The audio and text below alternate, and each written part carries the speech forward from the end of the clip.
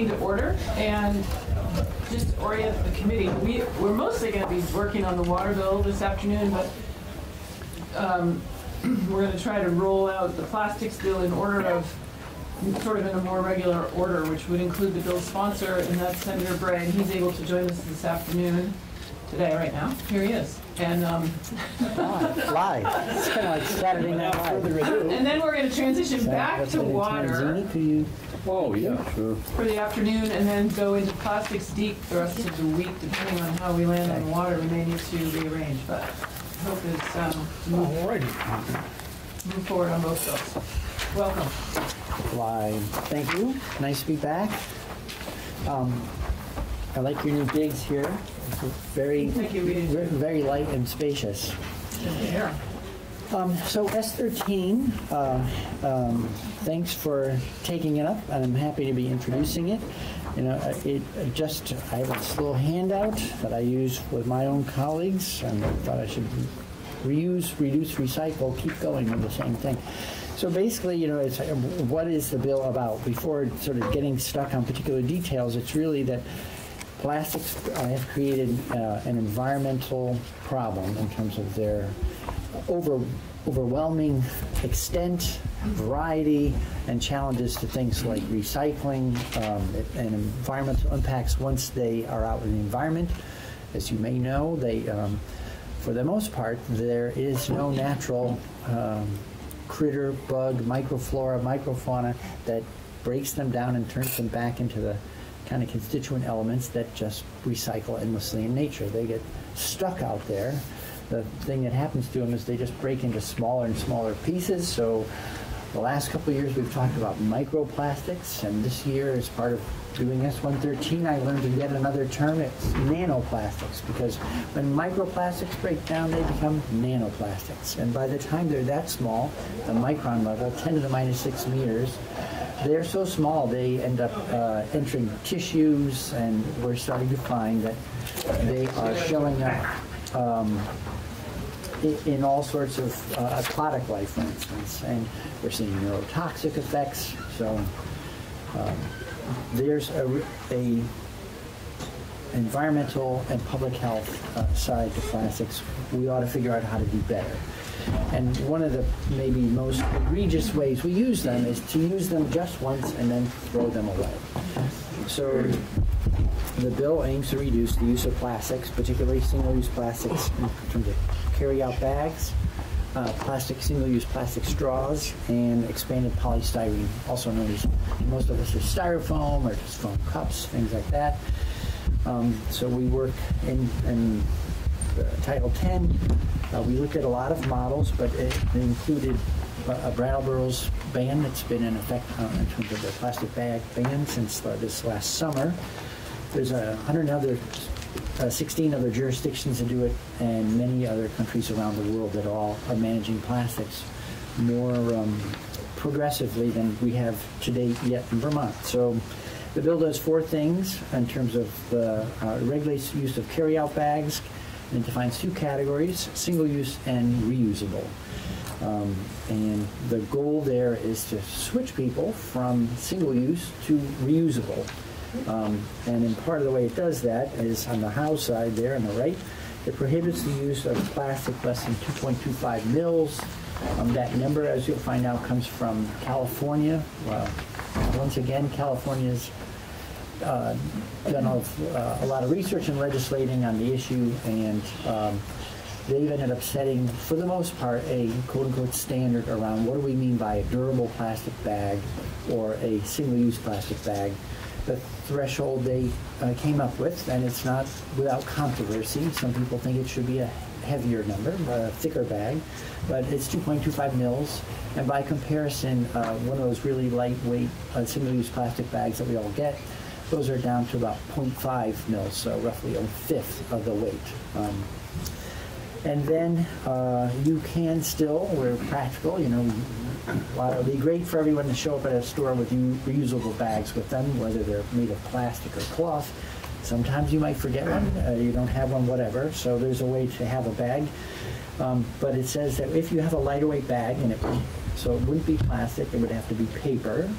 Um, it would would likely be paper, and that it says that the retailer should charge at least a nickel for it. So that is really, it goes all the way back to our 1971 bottle bill, where one of the signals you send to someone about stop littering, or in this case, stop using single-use plastics or single-use, single-use bags, is to um, get people to notice and say, okay, if you frag your bag, no big deal, you're getting charged a nickel. But um, the question is, can you get people to start to say, I don't want to waste a nickel every time.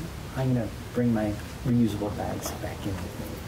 I think a lot of people already do this, but it's part of um, of you know a basically a uh, a single a signal to um, customers to try to remember your bag. The other thing is that on the retailer side, um, there's a higher cost for a paper bag than a plastic bag, and so I think they actually like the idea that they ask for the ability to charge in order so that they not simply have to swallow uh, a more expensive substitute paper bag. And then the other thing too is that we don't, the goal is not to switch people from single-use plastic to single-use paper. It's to go from single-use anything to reusable.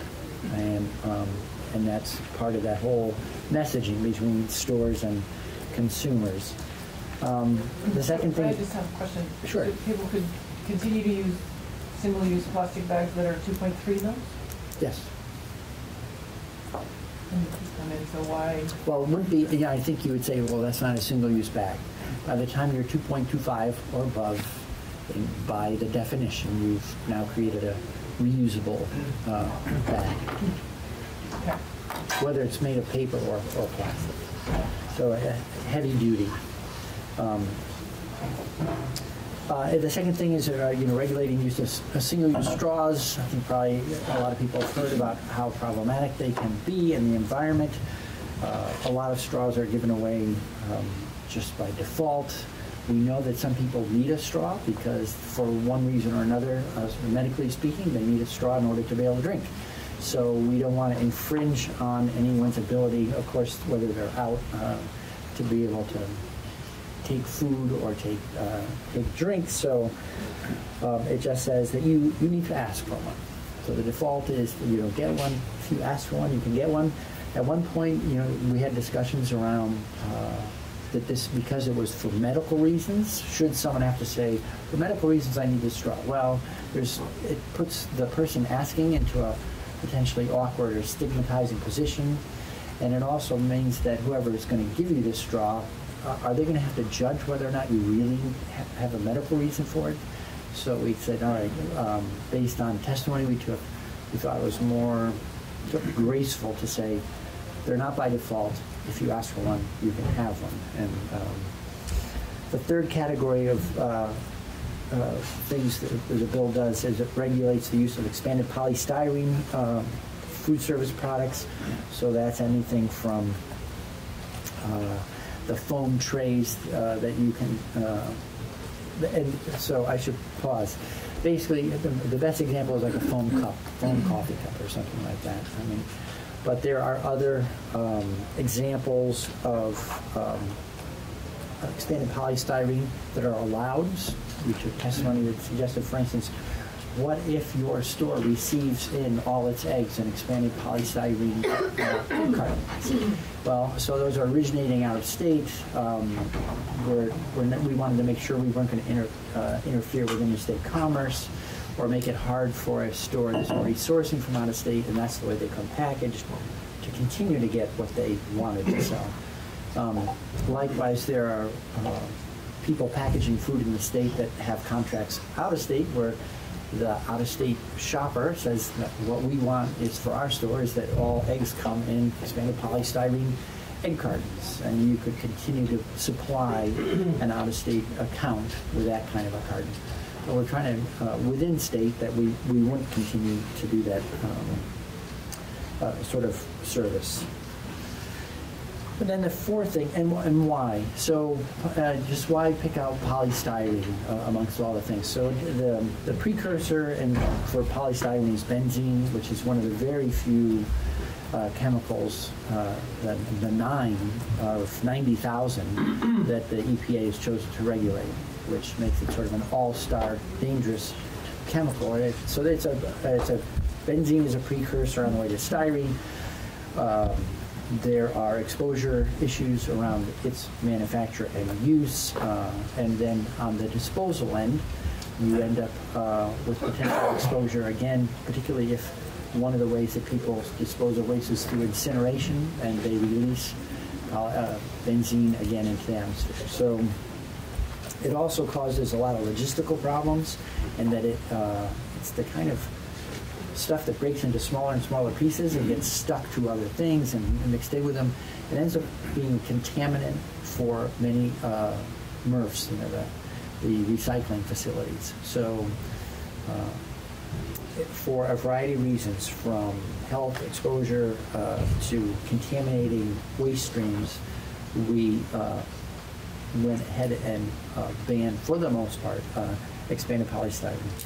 The fourth thing is, although all three of these things are, we, in our judgment, were clearly good things to do, we know that there's um, a much bigger issue on, on our hands with plastics. Uh, 50% of all plastic ever made was made just in this century, and uh, 50% of that is related to packaging. Um, so we wanted to be able to, we create a working group um, in the fourth thing, the single-use products working group to make uh, recommendations on Chris, solid waste issues. Just rewind, Yeah. fifty percent of all the plastic is been made this century, in, in the eighteen years that Yes, fifty percent. Start that sentence over again? Sure. Well, if you go back to 1975 and to present day, uh, there's been a nine-fold increase, 900% increase in the amount of plastic manufactured. In this century, 50% of all plastic ever made uh, has been manufactured. And of that uh, 50%, 50% of that is just related to packaging. So uh, things that are uh, completely single use, right? You just open the thing and now you got what you bought. What are you're doing with the, you have instant, you know, it's one use and now you have uh, waste. So, uh, rather than, you know, like most things, an ounce of prevention is worth a pound of cure. Could we try to get ahead of creating so much waste and reduce it the, from the beginning by having people think ahead about how they're packaging things? And so that's uh, what this 11-member uh, working group does that delivers a report by the end of this year. And it looks at, so there's, it does two things really. It's looking at um, how our solid waste system is dealing with plastic more generally, how this bill would fit into that. Uh, it gives us a chance to think through um, the provisions in the bill. And then it also uh, addresses the question of product stewardship. So I think people are familiar that when you buy batteries or paint or um, anything with it, like a thermostat, electric switches, um, we already have programs in place in Vermont that say, but the, the manufacturer has an obligation to participate in how you handle that as solid waste. So that's why you can take paint to a transfer station or to the the um, truck that circulates for hazardous materials quarterly in some towns, however however your town or region does it. Um, mercury and light bulbs, all these things we've said, okay, we're we know we're creating a, a uh, hazardous waste that can be difficult to deal with. Let's think about it at the at the time of manufacture and bring the manufacturers into the discussion about how could you manage this better. Manufacturers, so what we've seen is we end up with better environmental outcomes at lower costs. And so it's a win-win for both environment and, and economics if you, and it's not a surprise, if you plan ahead, you're going to have less waste to deal with. So that same group says, let's look at product stewardship for packaging and see if we could work with uh, manufacturers to say, are there ways to think about what's going to happen to your package once it's received by the person, and maybe choose something that's uh, less problematic uh, for the our solid waste programs to deal with. Um, so I have a sort of an expanded version of this uh, um, that provides a little more detail. So it's a, a basically sort of a cheat sheet to the whole bill. Um, but I didn't pass out in the beginning because it has more details that could take us off off track. So I'm happy to answer any um, questions on it. But that's really the lay of the land. Tries to say, let's deal with three problematic plastics in the near term. Let's create a working group that then looks ahead to how we can do better for the long term. Questions for Senator Bray? Representative McCullough? Yes, sir. Um, How did, how was it, Senator, that you guys, that, that you um, landed on a thousand feet or more square feet of retail space um, uh, as the threshold for, for a bag ban? Sure.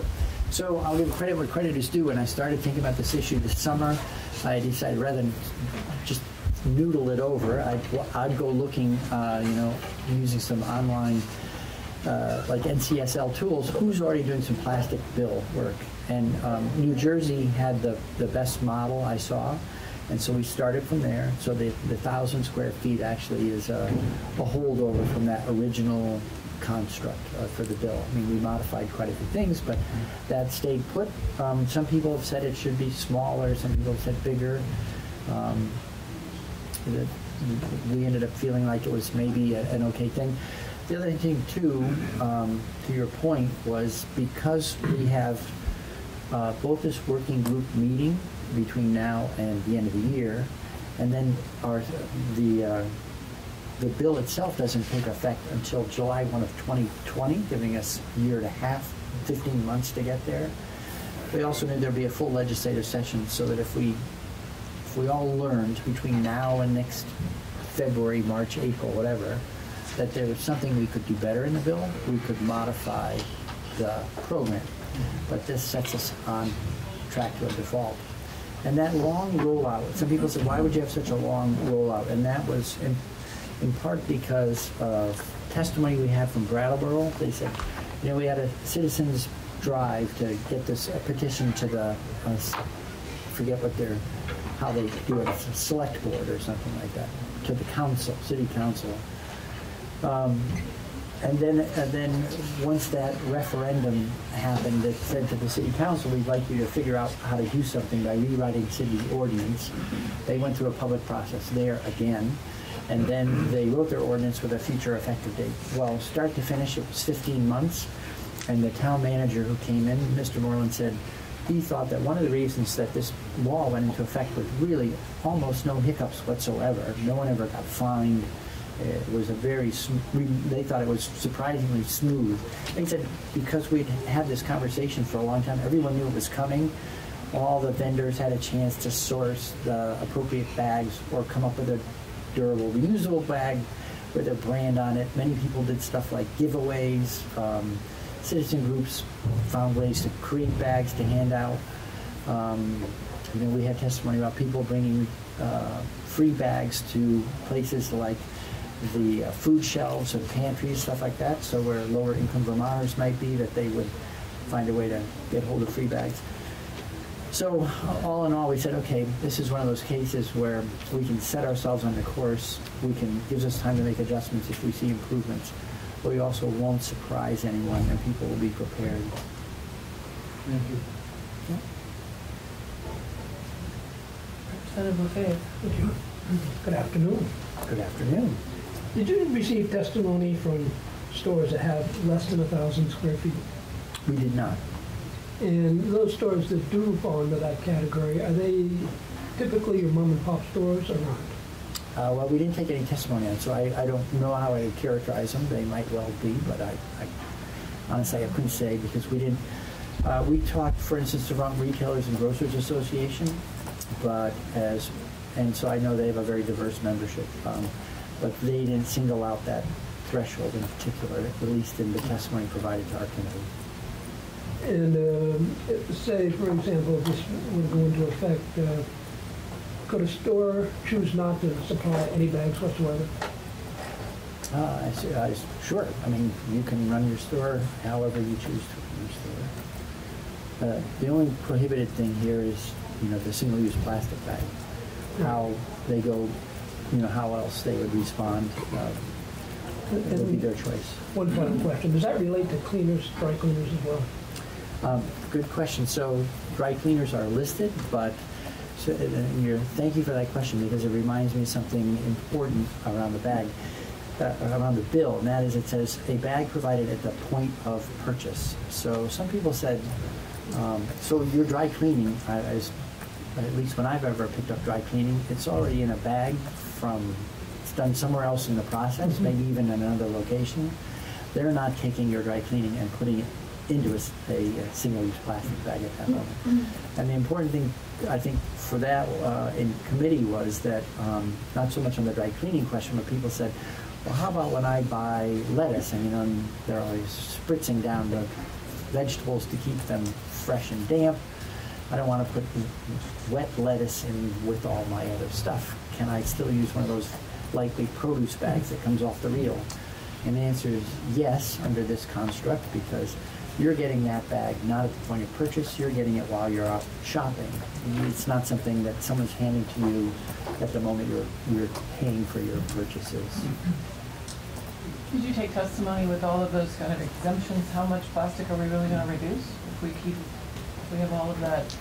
Sure. So the uh, Vermont, as um, he did some research using a tool that was developed by a, a group down in Massachusetts. That you know, Massachusetts, has done this piecemeal. Something like 82 towns now have done plastic bag bills, um, and they have a, a tool that lets you put in your the size of the jurisdiction you're looking at and what will be the, the impacts of it. So it estimated that Vermonters, if we behave like our neighbors to the south and Americans in general, I'm not sure if that's a good assumption or not, we use 332 million single-use plastic bags a year. We spend about $13.2 million purchasing those. We don't think of it as a purchase, but it's built into the price of goods we buy. Um, the greenhouse gas impacts of uh, producing that, shipping that, and disposing of it is the equivalent of taking 1,927 vehicles off the road for a year.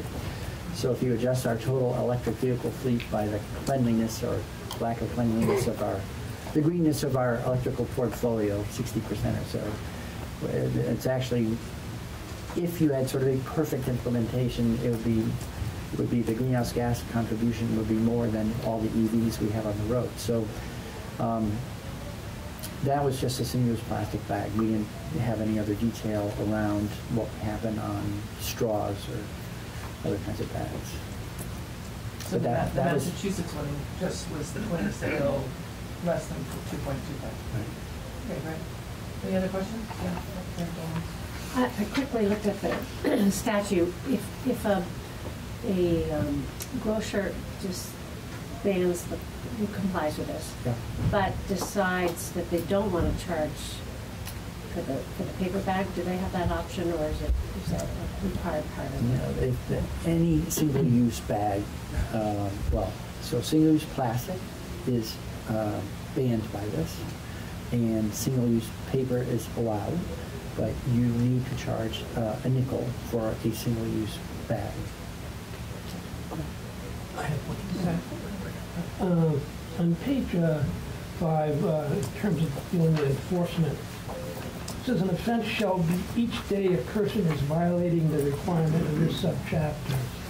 Um, So, at what point, what's, what point does, is that when the call is made? I mean, I, I don't, when does it begin then? Does it begin in terms of, when does the violation start? I, so, uh, A report to who? I mean, who would, Well, I think, so, the, uh, uh, on the encouraging side, the Brattleboro, they, their enforcement is consisted of, uh, they had a conversation with roughly a dozen stores in town to say, you know, a day or two ago, um, the bag ordinance went into effect, and people said, oh, well, I wasn't quite aware when that was starting, and everyone fell into line within uh, a day or two more. So they never, they never levied any fines, they simply notified people. Um, and that was their experience. But um, this is a standard enforcement provision under um, ANR's current police powers. So how they would determine it, um, I suppose that would be how they would actually think about it in terms of implementing it. I, I would defer to uh, legislative council or ANR. Representative Ode. What did the Vermont retailer and grocers say? You guys, we're gonna hear from all. Oh, so, all right, never mind. So we- It, what, all right, then I have a question about a bagel. But if someone makes you a bagel and you have a little, little bag. Uh, a little bag, you mean like I'm a? just meaning, a ba- you know, if you buy a dozen bagels in a big brown paper bag versus a bagel in a small bag. Uh, well, it's, you know, single-use plastic that we're that targeting. But no, whether you Regardless would of be paying size. a nickel for either bag. Uh, So if it's a, oh, I see what you mean. Is it a smaller, Uh, Yes, it's a sign. yeah, I guess, uh, uh, you might want to, Not point of sale, the, the person who Yeah. prepared it for you puts it in that. right, so, I was wondering right, I mean, about this that. is, Okay. we had, said, we had this same sort of question around, if I'm at the hardware store and I'm buying, you know, 10 number six Yes. bolts, you know, and I get it in a little, I put them in a little bag. It's like, Or, the other one was, I'm at the Vermont Country Store and I'm loading up licorice and this and this, uh, you know, in all those little bags. So you can still use little bags. It's, um, as a chair, just wrap it back around. So the critical thing that's easy to lose sight of is at the point of purchase, when you're paying, is someone then giving you your goods to carry out, putting it in a single-use bag or not. I'll say one more question there. Is, um, if you're charging a nickel for the paper bag, do you think that that will make people, or do they find that then people ask always for the heavier duty plastic carry out because it's free? So there's the, there's, we don't specify anything about any reusable bag. I suppose it's possible someone give away something free, but um, the point, what we heard was that, uh, for one thing, if we, if you don't have any signal at all, the um, jurisdictions that said simply we're, um, we're banning single-use plastics, and then they're silent on anything else about what kind of bag, uh, a large percentage of people simply say, I'll take the free single-use paper bag. And then you end up with uh, more and more paper bags to deal with in the waste stream. So the idea is reducing the waste stream, um, both, whether from both paper and plastic. We're not trying to increase the use of paper bags either. And they, they also cost more. So there, some retailers were concerned that um, the single-use plastic bags are in the neigh- neighborhood of three or four cents, and the paper bags in the neighborhood of five to eight cents. So they didn't want to have to be spending more without being able to recover costs, uh, which they could do. But I think for some people, they, for some stores, they were a little uncomfortable. What if my neighbor decides to give free bags and I don't? Well, so it, this just simply creates uh, harmonized legislation across the state. And I think that was actually, if there was anything that drew um, people together on the bill that might not normally have been uh, in agreement on it, the idea of harmonized legislation statewide was a positive thing for people who would, I think frankly, maybe rather not have done anything, but they said if we don't want to have stores within a jurisdiction sort of competing with each other over free bags or not free bags. We don't want to have Middlebury competing with Bristol over free bags versus not free bags, that kind of thing. All right, Thank you. thank you, Sarah, for coming in, My pleasure. orienting us to the bill. Have fun. Thank you. Not until we have more fun with the water bill. Well, there's all the, all these bills, they have an infinite capacity to provide entertainment, delight. and all They do. that. Thanks. It's working. Thank you. Um, Laura, what's the latest from Michael? I have not heard a peep from Michael. One, lines 13 through 15. You want a definition of administrative cost. You directed me to look at the municipal grant and aid program that's administered by the RPCs. I talked to Peter Gregory on Sunday. This is what he provided. Um, He did say he would like to look at the actual program documents. He didn't have it in front of him at the time. Um, So it would be administrative cost means costs incurred by a clean water service provider or grantee to conduct procurement, contract preparation, and monitoring, reporting, and invoicing. Should I move on? Yeah. On page two, um, in uh, the definition of clean water project in the natural resource protection and restoration language. Um, You wanted it to reflect that it includes natural woody buffers associated with riparian, lakeshore, and wetland protection and restoration.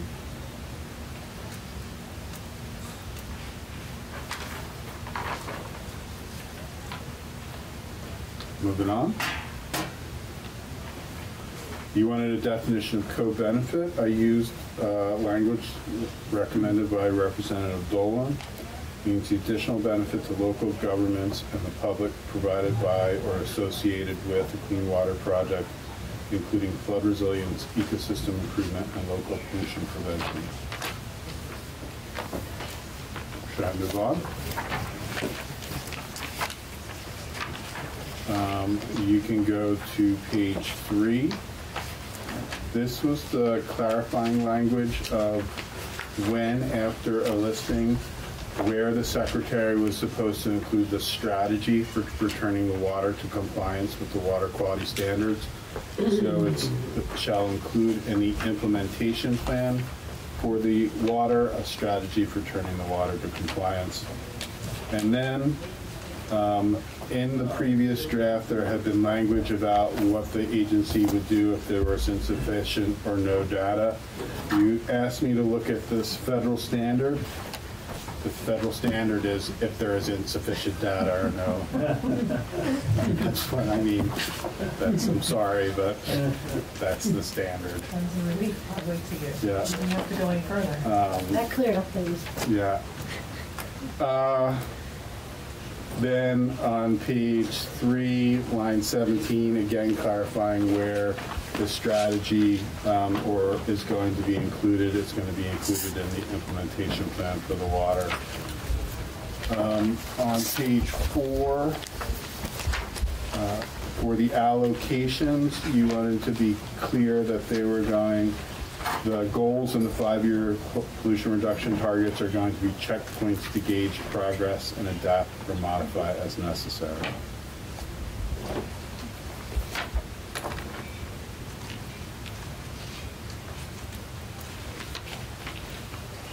Should I move on? Yeah. Page five, line eight, that's just correcting a reference. It had said chapter, so it should have, said subchapter.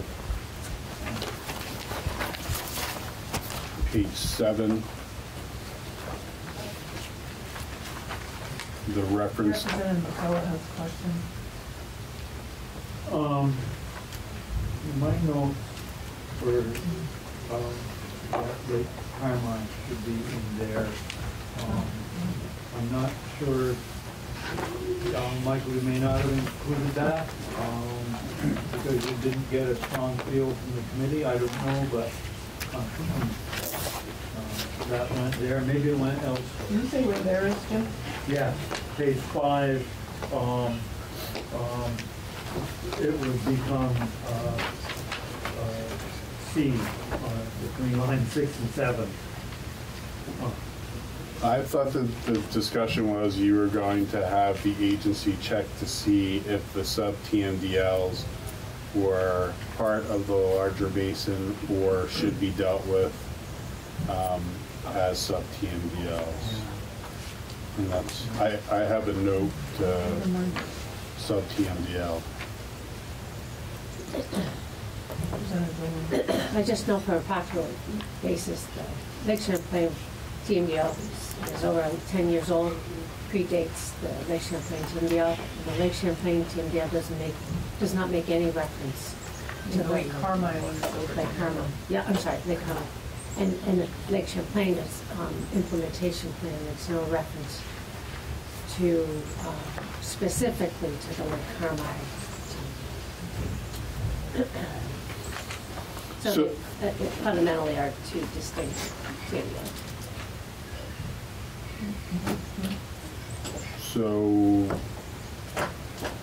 So the policy questions for you. Do you want to make a reference to it? Or are you satisfied with page five, line seven through 10, that it's going to be part of the schedule um, in all other previously listed impaired waters. We did have a discussion on Friday about this. Um, My notes still says include Carmi, but I think we might have decided to leave it out. Matt, do you remember? Yes, for the record, Matt Chapman, General Counsel, Agency of Natural Resources. So I, I think I reflected on Friday that it was not the agency's intent to include all sub-jurisdictional TMDLs in this, and that we would consider them as a part of the planning exercise in subdivision two, um, and that would in no way um, inhibit our ability of moving forward with those TMDLs, just like we would, would under their current process, but that it wouldn't be using the tools in this subchapter to do so. So, so, um, yes. And, and I wasn't certain what the committee's final take on that was. It's good to hear um, you reiterate that. It's in the record now twice. And when we, um, get pushed back on the floor, we got the right answer, I think.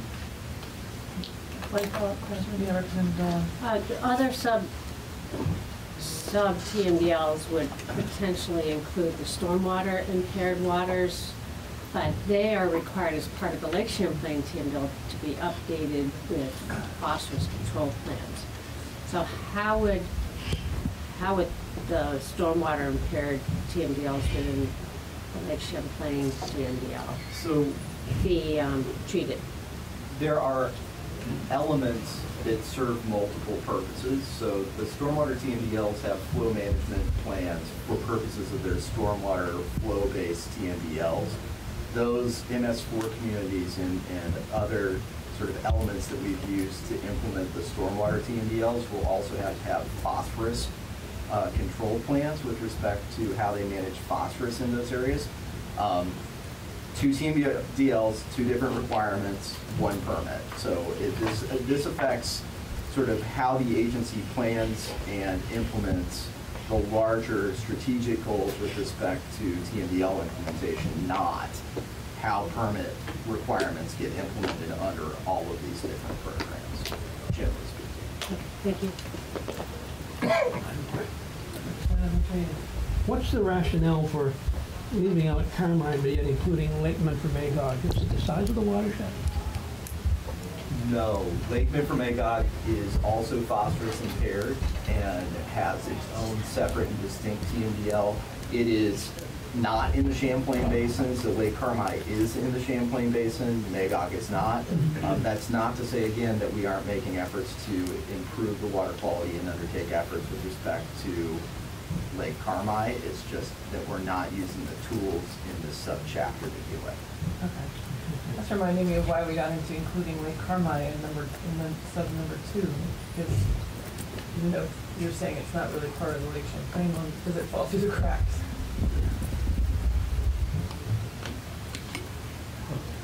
Why don't we just say including Lake Carmi? I thought that's where we left it. It's include Lake Carmi. Is it in there? Am I now? In sub two, Mhm. I think that's the, is that not the agency's intention? Yes, it is the agency's intention in sub two to include the requirements for Lake Carmi in there as well.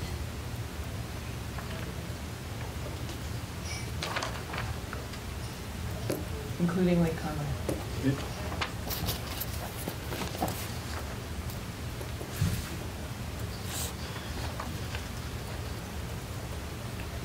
Um, yeah, Page four of the original, I think it's, Page five, lines five seven new to 10. Say again, Jerry, what is it again? Uh, Page five, and referring to section B2, which is seven through 10, just to call out, a shout out to Lake Carmi. Is that gonna be C or you're just folding it into two? it's it's gonna be right here. All right.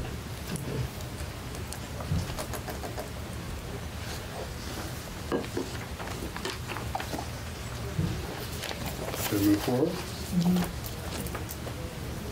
So on page seven, Uh, This is the first you'll see of references to 925 being changed. 925 used to include all four grant programs. There are now four grant sections. 925 is now just for the water quality restoration grant. Um, Moving on from there, sub E, you wanted the secretary to periodically review a pollution reduction value or design life established under the section at least every five years to determine the adequacy or accuracy of the pollution reduction value or design life.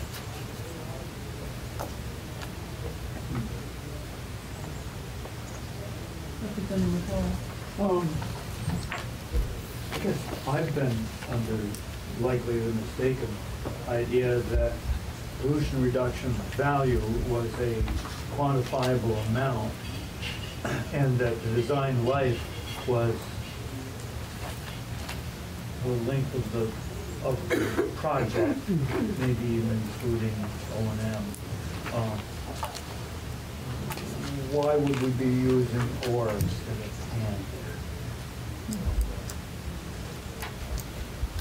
Um, You can say and.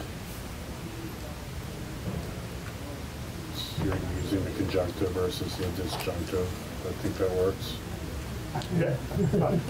I'm staying right out of, out of the uh, sentence structure, because I'm not good at that, but I'm just wondering, are they, if they're two different things, then, uh, You, I think, I think you want to use the conjunctive. if That's, I think, that's, Yeah, they're two different. Yeah, yeah, yeah, yeah. con- conjunctivitis, no. Conjunction, junction, okay. all right. Yeah. Should I move on? Yes. Um, You just want to make sure you put an and at the end of that sentence also, right? Where is this? One, three. On page eight? Yes. And where? It says or design life again, so we'll just see. Okay.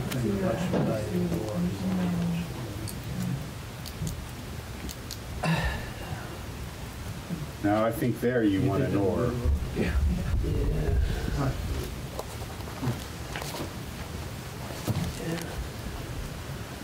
Okay, moving on. Bottom of page eight. Uh, This was clarifying um, when, for all other waters, the secretary is going to assign a clean water service provider. And so, for all other impaired waters, the secretary assigns a clean water service provider no later than six months prior to the implementation of the requirements scheduled by the secretary under subdivision 922B2. So remember, right above, that they're going to have a schedule for doing all of the, the requirements. Um, And so six months prior to that, they designate a clean water service provider. Moving on. Yes. Um, You wanted to be clear that an entity designated a um, clean water service provider uh, shall be required to identify. It had previously shall be in consultation with the Basin Advisory Council required to identify. Now that the Basin Advisory Council is no longer advisory and is making determinations on its own, you wanted that struck. You wanted verify to be, um, to be placed in here instead of monitoring. Uh,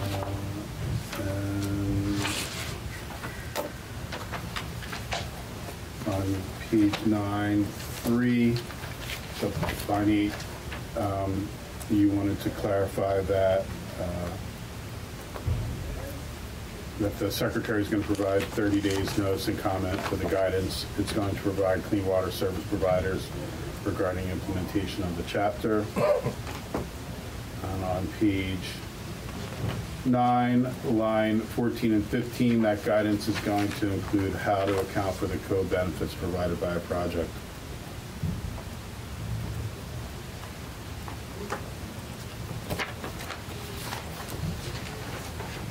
Should I move on?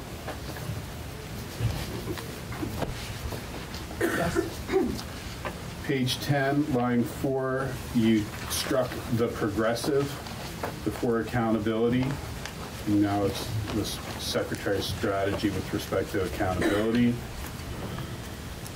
And then on page 10, line 14, you are going to see many highlighted basin water quality councils because it used to be Basin Water Quality Advisory Council. You wanted the advisory removed. I'm not going to reference that every time we go by it. If that's okay with you. On page 11, line 2, it had previously said, and selecting activities to meet a pollution reduction value.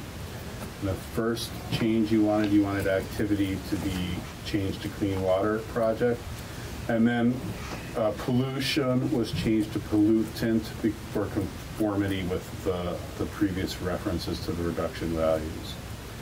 You also wanted the co-benefits provided by the project and the operation and maintenance of the project to be part of that process.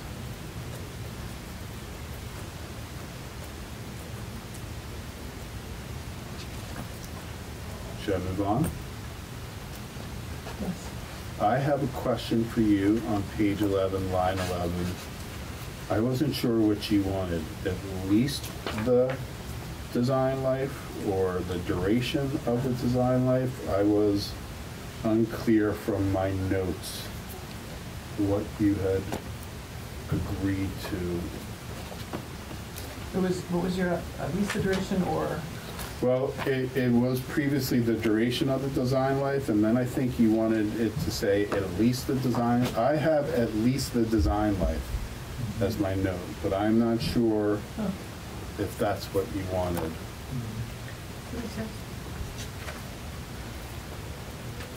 So at least the design life?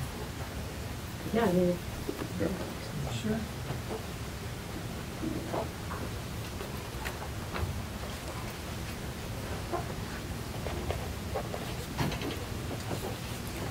All right. Um, Page 11, line 13, that uh, 1389, that used to say 1391, so it's just a um, change in that regard. Line 15, changing pollution to pollutant. We can now skip to page 13.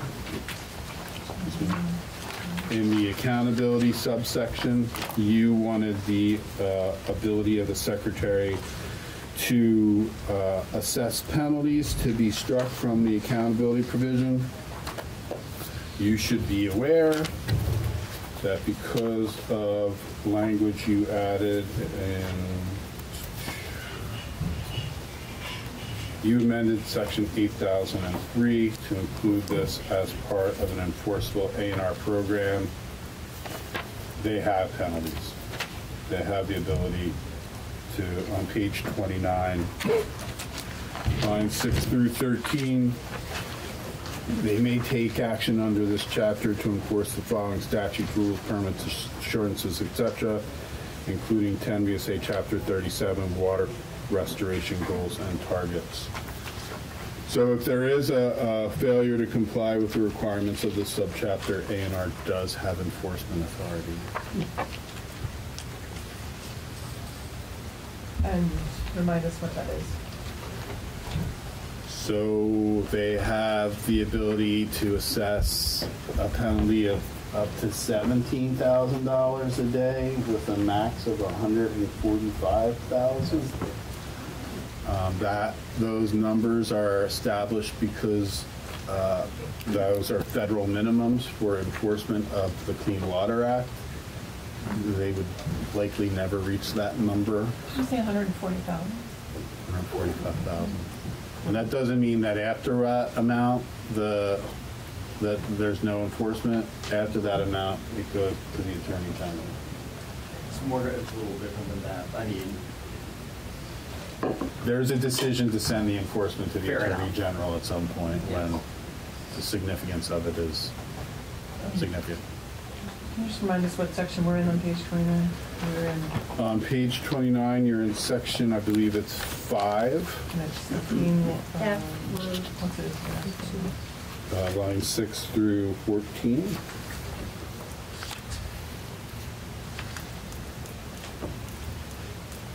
Right, but I just know like what's the, what is this section doing? So all of A and R's enforcement authority is in one chapter of law, instead of setting out its enforcement in the, the multiple chapters of law. Um, we set it out once in one chapter, and then just cross-reference those, those chapters of law that are enforceable under the enforcement chapter. So by cross-referencing 10 VSA Chapter 37, including water restoration goals and targets, you've made that subchapter enforceable.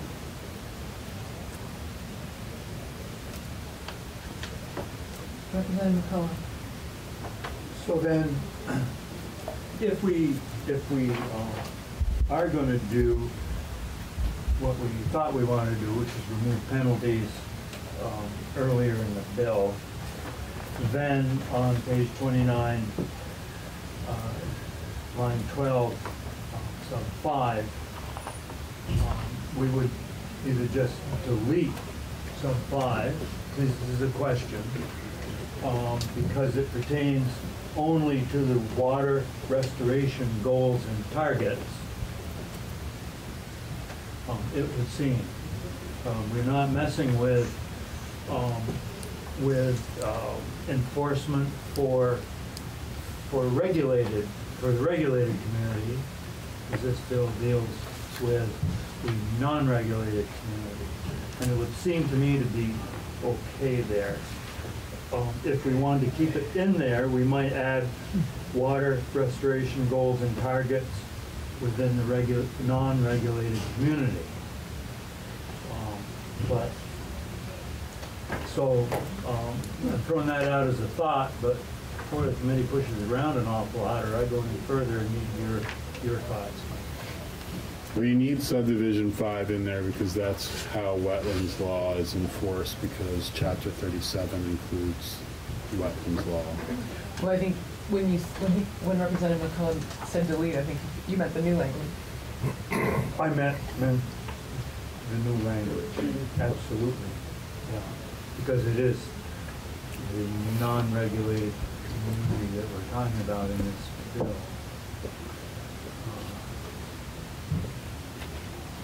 Um, So the clean water service provider becomes a regulated entity. And so it's whether or not you want A and R to have enforcement over the clean water service provider. I think what we were striving to do was not have penalties, financial penalties over the um, service providers and sub-grantees. Um, uh, I think that's what we're trying to do. Yeah, that is what we were trying to do. Yeah, And, it- and and- we haven't done it apparently. Well, if this language stays in, we haven't done it. Yeah. So you could just give the agency equitable relief instead of monetary fine authority if you would want that. Ec- Equi, say that again?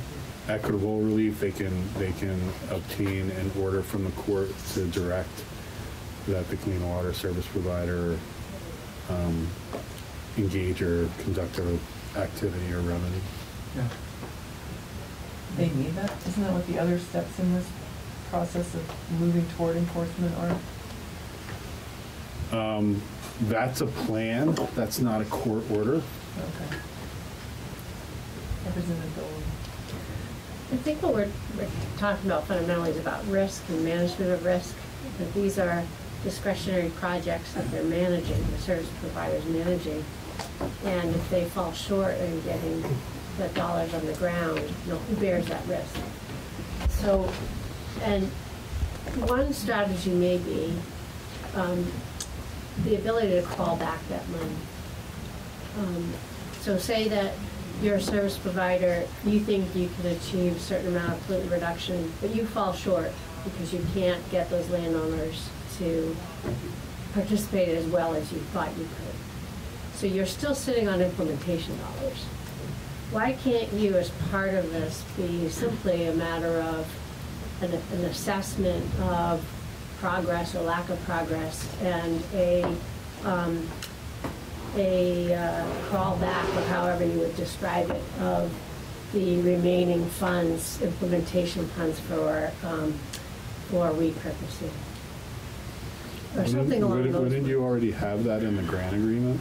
Wouldn't you have a condition that if the funds aren't spent or implemented by a time certain, that, that, the- that they're gonna be returned? I mean, When we write our grants, we do that. Um, Yeah, And what if the money's spent and there's still well, not? they can only spend up to fifteen percent, so again, that's a check Right. on trying to prevent the, you know, the winnowing away of the implementation dollars. But it seems to me that that may be the cleaner way of trying to, instead of applying a fine related to trying to get discretionary projects implemented, maybe it's a matter of calling out that kind of assessment for the purposes of repurposing those implementation dollars.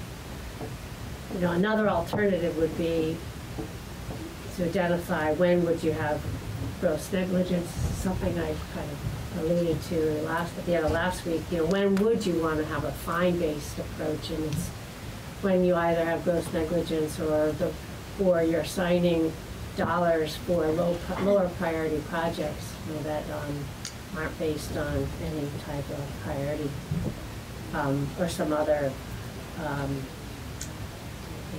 purpose, but I, I would think that the risk of going that direction of trying to establish the terms of gross negligence, maybe they could simply in this, in this language indicate the, that there is a risk of repurposing those dollars away from the service provider. I think I might have a more, I'm struggling with, so they don't meet the pollution reduction goals. There's a lot of reasons that they might not meet, meet the pollution reduction goals, including increased pollution from other properties. And that the aid, the secretary's calculus on the, the ability of these projects to meet those goals is way off. So I just, I really struggle with this section. Yeah. I, I don't see how you can expect these people to be held accountable for, like, delivering on, oh, there's less, and where would you test? How far downstream from a project do you anticipate you're gonna test for where these, where the pollution reduction happens? Remember, they're testing on the, the modeling results of that pollutant reduction project. So there, it's, it's what's happening upstream or downstream, or the, that may in fact result in a degradation At some of point, they're testing, they're doing water quality monitoring.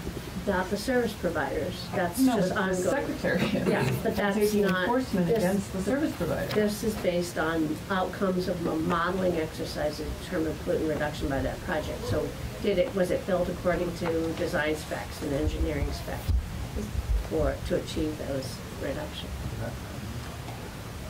I'm not sure that's, where is it say? It's based on modeling, well, I mean, it talks about that.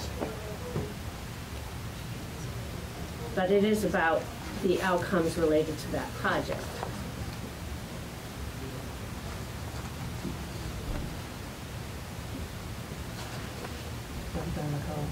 Well, um, notwithstanding the, the modeling, um, discussion, um, I've said it before, I still am, I'm concerned that, that the modeling itself may not be accurate, which is another, in fact, maybe the chair mentioned. That's out of the control of the service provider. Um, There may be other things that are out of control of the service provider. So I'm being redundant now and repeating what the chair said. Um, But I want to add that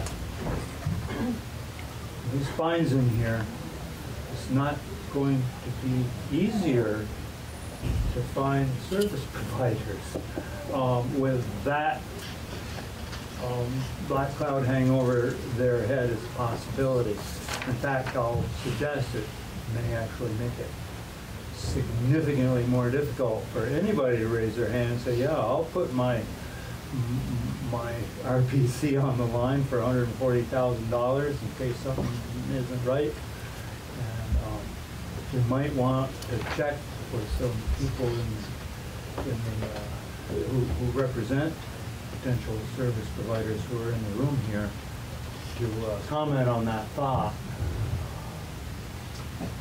And I, I just have to go back to my question, which is, I think I might have found the language Carrie's referring to, but I want to be sure that that's what everyone is agreeing to, which is that the modeling is the basis for deciding whether or not a clean water service provider is achieving their pollution reduction goals. Okay.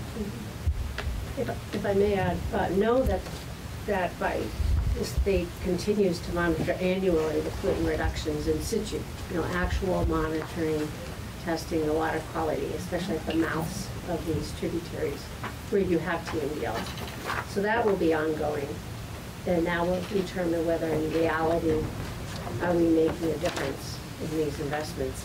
There's also built into a TMDL a requirement to deal with future growth that could have a, eat away at the progress you're making. Okay, so committee, back to Representative McCullough's point of, is the, is the monetary enforcement piece of this kind of a showstopper to get clean water service providers to sign up?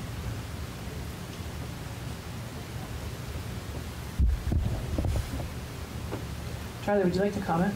I would love to, thank you. Um, Yeah, uh, so speaking on behalf of the Chittenden County Regional Planning Commission, and- and I believe all the RPCs statewide, this is a stopper issue. I'm sorry, Charles Baker, uh, Executive Director of the Chittenden County Regional Planning Commission for the record.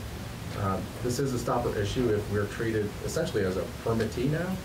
We're willing to be a partner with the state, but not a regulated entity. And this, from my read of this, essentially makes us a regulated entity with this condition. Um, And I can tell you, my board had a very open and broad discussion of this, uh, well represented from all the municipalities, a lot, a number of select board members in Chittenden County. They are not willing to take on this kind of liability uh, to help the state with this issue. Sorry to be so blunt. Right? We appreciate it at this point. We need one. Um, Okay, so, Representative Dillon. And what we talked about was, like, I know I keep repeating myself, but this, the six-month check-in. You know, um, now, we want, we want those service providers to be as successful as they can be, and, um. Right, so right now, we're talking about, are we deleting the enforcement part of this, or are we going to include the enforcement part of it? That's the question on the table right now, before the committee. Are there thoughts from other committee members? Nothing? Take it out. Take it out.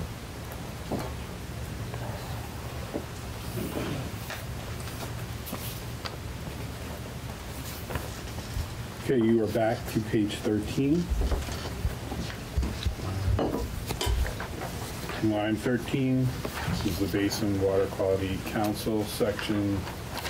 Advisory was removed whenever the term was referenced. That takes you to page 14. Line 17. I'm, I'm just flagging technical because you took out technical, and you put technical back in, and you took it out, and then you put it back in. So Quick, just, bad. so, That's all we did Friday.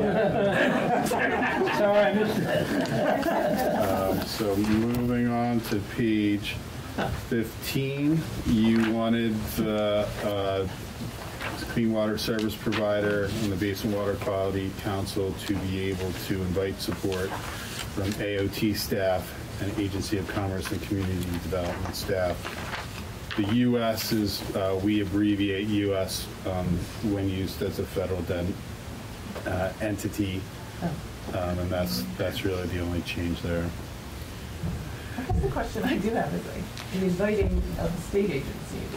We don't have to invite them, we can tell them to support it, Uh, Yes, you can say that they shall have the support of those state agencies.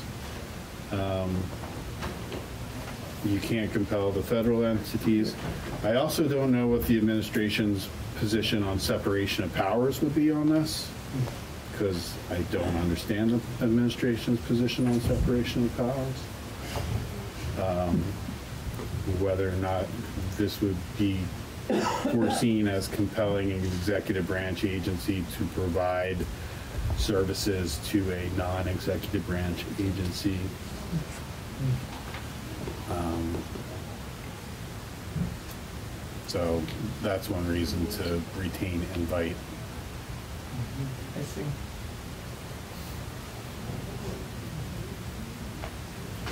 Because UVM, isn't, Is UVM what? is a, is a non-executive branch? Uh, UVM is UVM. Yeah. Um, It's a state entity for some things. How it has incorporated other components of it would make it not a state entity. Um, My concern is that there's been discussion and vetoes where, in the past, where an executive branch agency is compelled to provide staffing to a non-executive branch agency. And so the non-executive branch agency would be a designated clean water service provider. Um, And the executive branch agencies would be A and R, Agency of Ag, Transportation, et cetera. So can you compel them? Could you compel UVM? Since UVM is the state entity when it wants to be and it's not when it's going. Can Clean Water Service Provider component.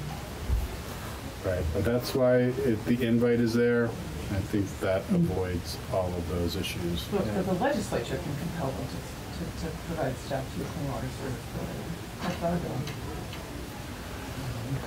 Again, if you consider the clean water service provider a a legislatively creative entity or filling that role, therefore filling an executive branch role, then I think you can compel them. But if you don't consider that clean water service provider an executive branch agency or fulfilling an executive branch function, there may be an argument that you can't compel an executive branch agency to provide service. I don't agree with it. I'm just telling you what an argument may be, and to avoid that argument, you just say invite.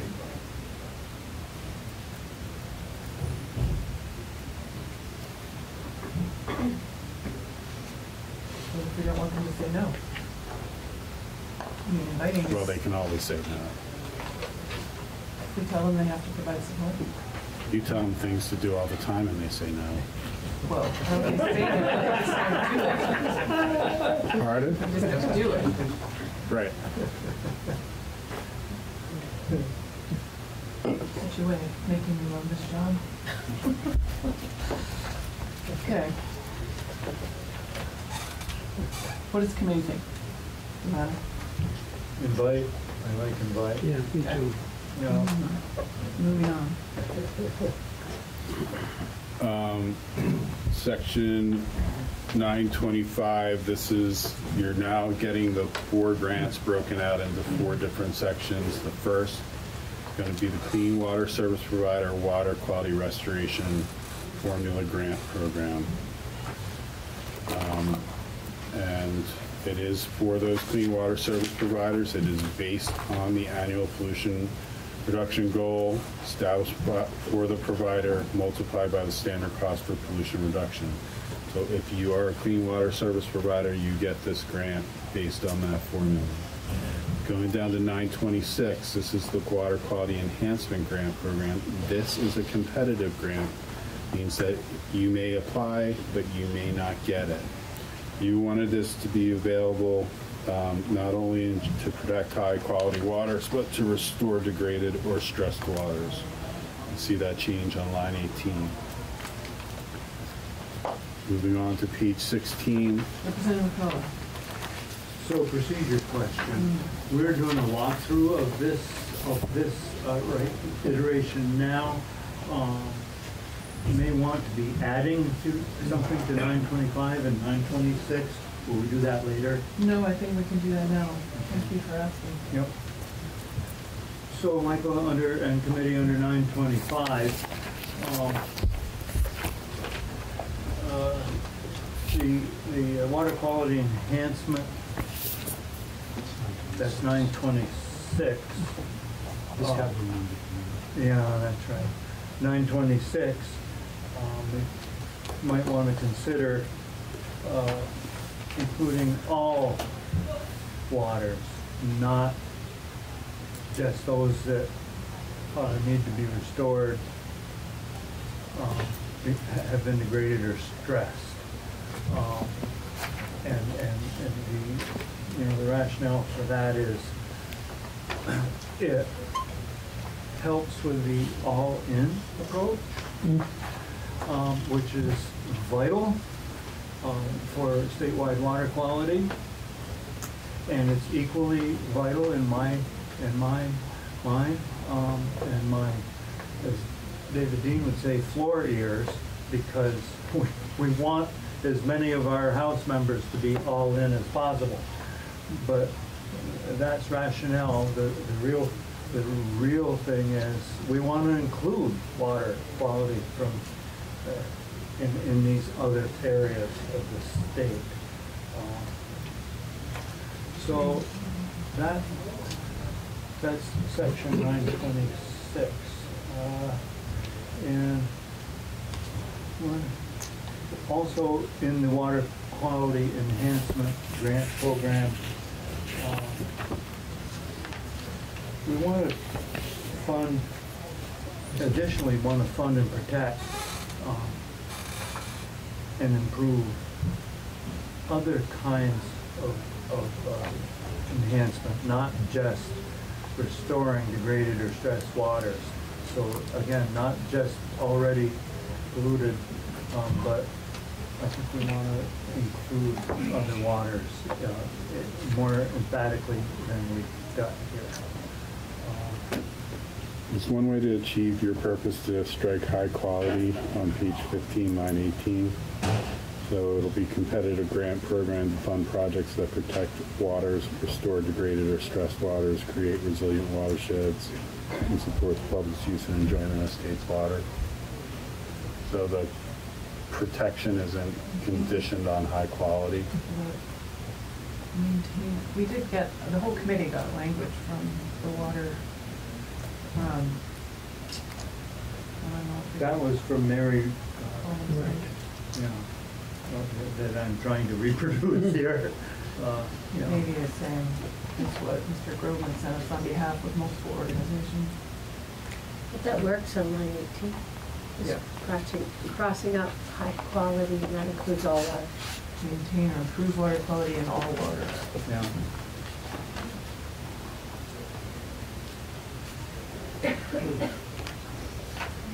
Money somewhere else. I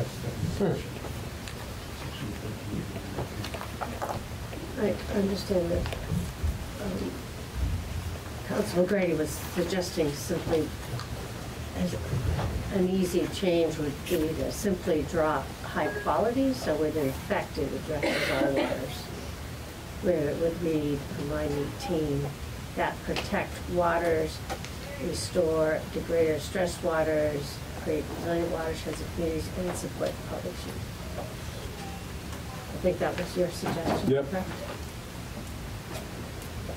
Whatever you want. I like protect all waters. Well, maintain or improve is a little different than that. Than protect. So that's, maintain or improve is getting at that concept of, of anti-degradation, that you don't want to allow anti, you don't want to allow de- degradation of the water. Yeah. You have to maintain or improve it. It it tries to get after it, there's four general categories of water implementation, restore, protect, maintain, enhance. And that's what it's trying to do. You can't just get to restoration if you only protect. So do you want to say protect, maintain, or improve water quality? Right, I think it, That would do it? Yeah. That would do it? and you're, will you, it's implied therefore that it's in all waters? Oh, no, I would include that as well. All right, should I move on? Yes. Representative McCullough, did you have something in 927? Um, No.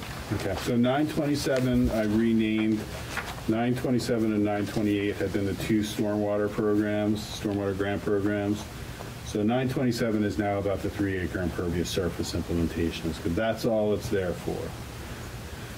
So that's what it's called, and it shall fund or provide fin- financing for, which was a request that you had, projects related to the permitting of impervious surface of three acres or more under 10 VSA 1264 G3. My only question is, that is that what it's going to be called, a three acre grant, or is it a developed lands grant? I only say that because Yeah, whether it changes from three acres to two and a half acres, we'll be back, I guess. I, I, I thought about developed lands, but I thought you might not like that because that concept includes operational stormwater per, permits. But I think developed lands would be fine, um, if you still tie it down to the permit for twelve sixty-four G three. Yeah, I've only heard that permit referenced as developed lands general permit or a three acre permit. I don't know what the name is that the agency's settling in on. I call it the legacy stormwater permit, um, but I like the developed lands, that's fine. So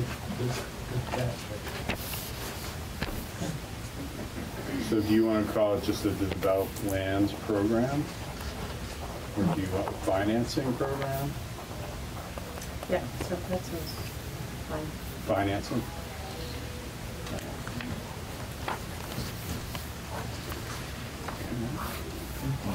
That's what it is. Um, okay, so on page 16, line 16, this is the municipal stormwater implementation grant program. You wanted this to be tied to the specific permit programs under 1264 that you wanted to fund. So it's um, to provide grants to any municipality required under section 1264 to obtain or seek coverage under the municipal roads general permit, the municipal separate storm sewer systems permit, a permit for impervious surface of three acres or more, or a permit required by the secretary to reduce the adverse impacts to water quality of a discharge or stormwater runoff.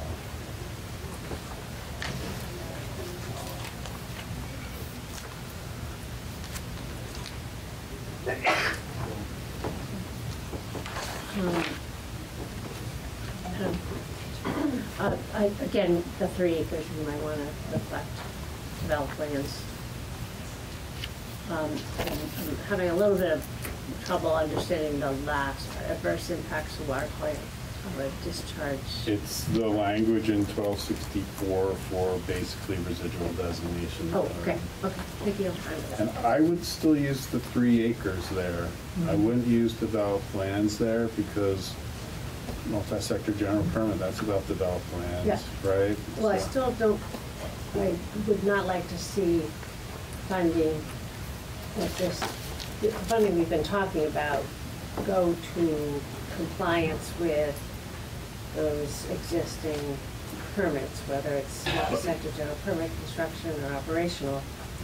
um, As you'd be paying for someone's compliance. Um, It's that three acre permit, or whatever it's called, and I think is, uh, makes sense. So I, I use the general reference to 1264 on lines 19 and 20, but I could include specific references to the subdivisions for each of those. So to tie it down to, I'm, I'm concerned about just calling it developed lands without referencing, like we did on page 16, line 13, the specific subdivision. Because developed lands to me, under 1264, is more than just three acre. Yeah.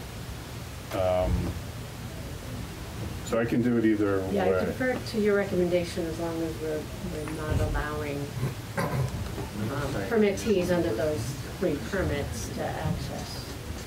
So you don't want multi-sector, you don't want operational, and you, construction, I think that they are out Okay. as it reads right now. Okay. Um, So page 17, lines 8 and 12, that's just renumbering based on the new sections. And that allows you to skip to page 21. Uh, And this generally is how the VHCB um, proposals, um, their first proposal, to add to the findings and purpose section for the Clean Water Initiative, the reference to um, that it is success in implementing the Clean Water Initiative depends on the permanent protection of land and waters from future development and impairment through conservation and water quality projects funded by the Vermont Housing and Conservation Trust. And then you'll see that, um, that to avoid future impairment and degradation of the state waters, the state should commit to continued funding for the protection of land and waters through agricultural and natural resources conservation, including permit easements and fee acquisition. So this language is what VHCB recommended. I think it makes sense. Um, I think this is what they're doing, the permanent protection of land and waters for conservation and water quality projects. And it's a policy decision for you to make the statement, success of the Clean Water Initiative makes, depends on it. Um, And to avoid future impairment and degradation of state waters, that is a federal requirement, the anti-degradation requirement. The state should commit to continue funding for protection of land and waters. Again, that's a policy statement, it's up to you to make that statement, um, but it's fairly consistent with your existing appropriation process and federal law. Should I move on? Comments, Representative Dolan? I I think this makes sense, I like, I like this, because I think what we were hung up on last week was about the Clean Water Fund and whether it had any oversight on how capital funds are being used. But since this is tied to more the Clean Water Initiative, which is, uh, does involve all funding sources for clean water, uh, it, um, I think it works adequately for our purposes. But there is more. On page 22, to clarify that priorities language and how it works, you'll see that the directive to the Clean Water Board to recommend expenditures for appropriation from the Clean Water Fund will be according to the priorities established under subsection E. So those, those priorities you were, you've been talking about, which you were talking about on Friday, about how the money moves out first priority under an equal priority system and then a second priority. That is just for the Clean Water Fund. Then, to clarify the use of the Clean Water Project term, which now is term of art in, in subchapter 37, it's going to be water quality projects that provide water quality benefits, reduce pollution, protect natural areas, enhance water quality protections, et cetera, et cetera, through capital funding, be funded by capital appropriation. So that reflects all the programs that the state does fund for water quality through capital dollars. With that said, I was in uh, House institutions over lunch, and they, one of the, the issues they put on the table is whether or not they remove the directive for the Clean Water Board to make recommendations on capital dollars. Their concept was that they put this in when the capital dollar funding went from its traditional level of 10 to 13 million a year to 20 to 25, and they needed recommendations.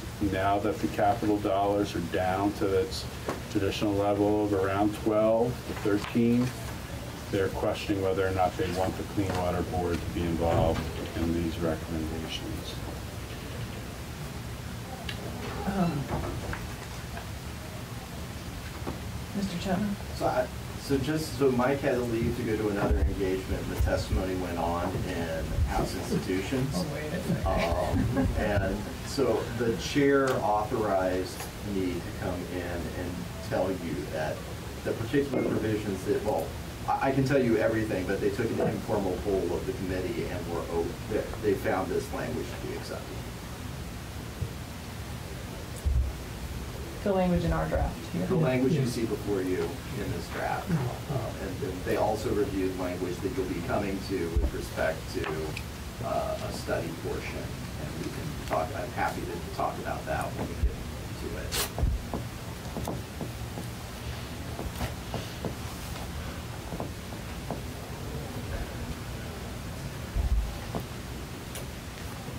Representative Dillon. Um, I do hesitate a little bit, and I, I appreciate your perspective, where this language has the Clean Water Fund recommending to the Secretary of Administration expenditures for water quality projects. Does, uh, and typically what has happened is that they've been much higher than that, they're not, am I reading that wrong? um, in that the, the budget reflects programs and grant programs, not necessarily down to the project level. So help me, maybe I'm misinterpreting this, right? So in the language that I had drafted up over the weekend, I had water quality programs or projects that provide water quality benefit. That might make sense to say programs or projects, It's just because you, you typically, the legislature hears back the progress we've made by implementing projects. But at our level, we shouldn't be dictating or having budgets dictate the drive all the way down to a project level necessarily. So programs and four projects can work. Okay.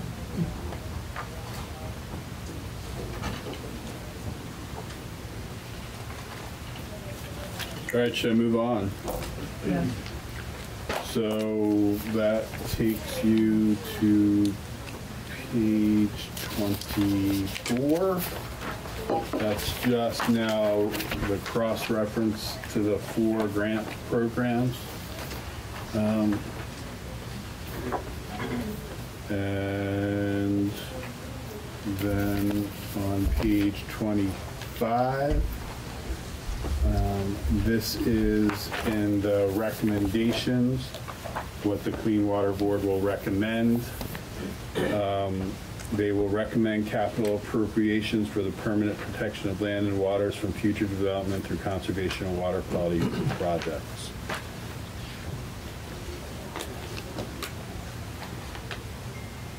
Should I move on?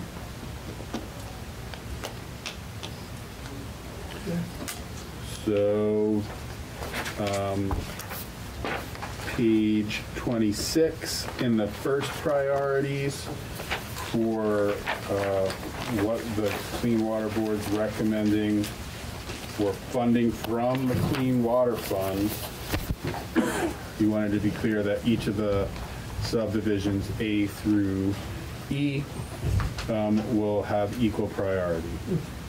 Right? And for the following grants and programs, is there a missing on line four or five? Sure. Yep.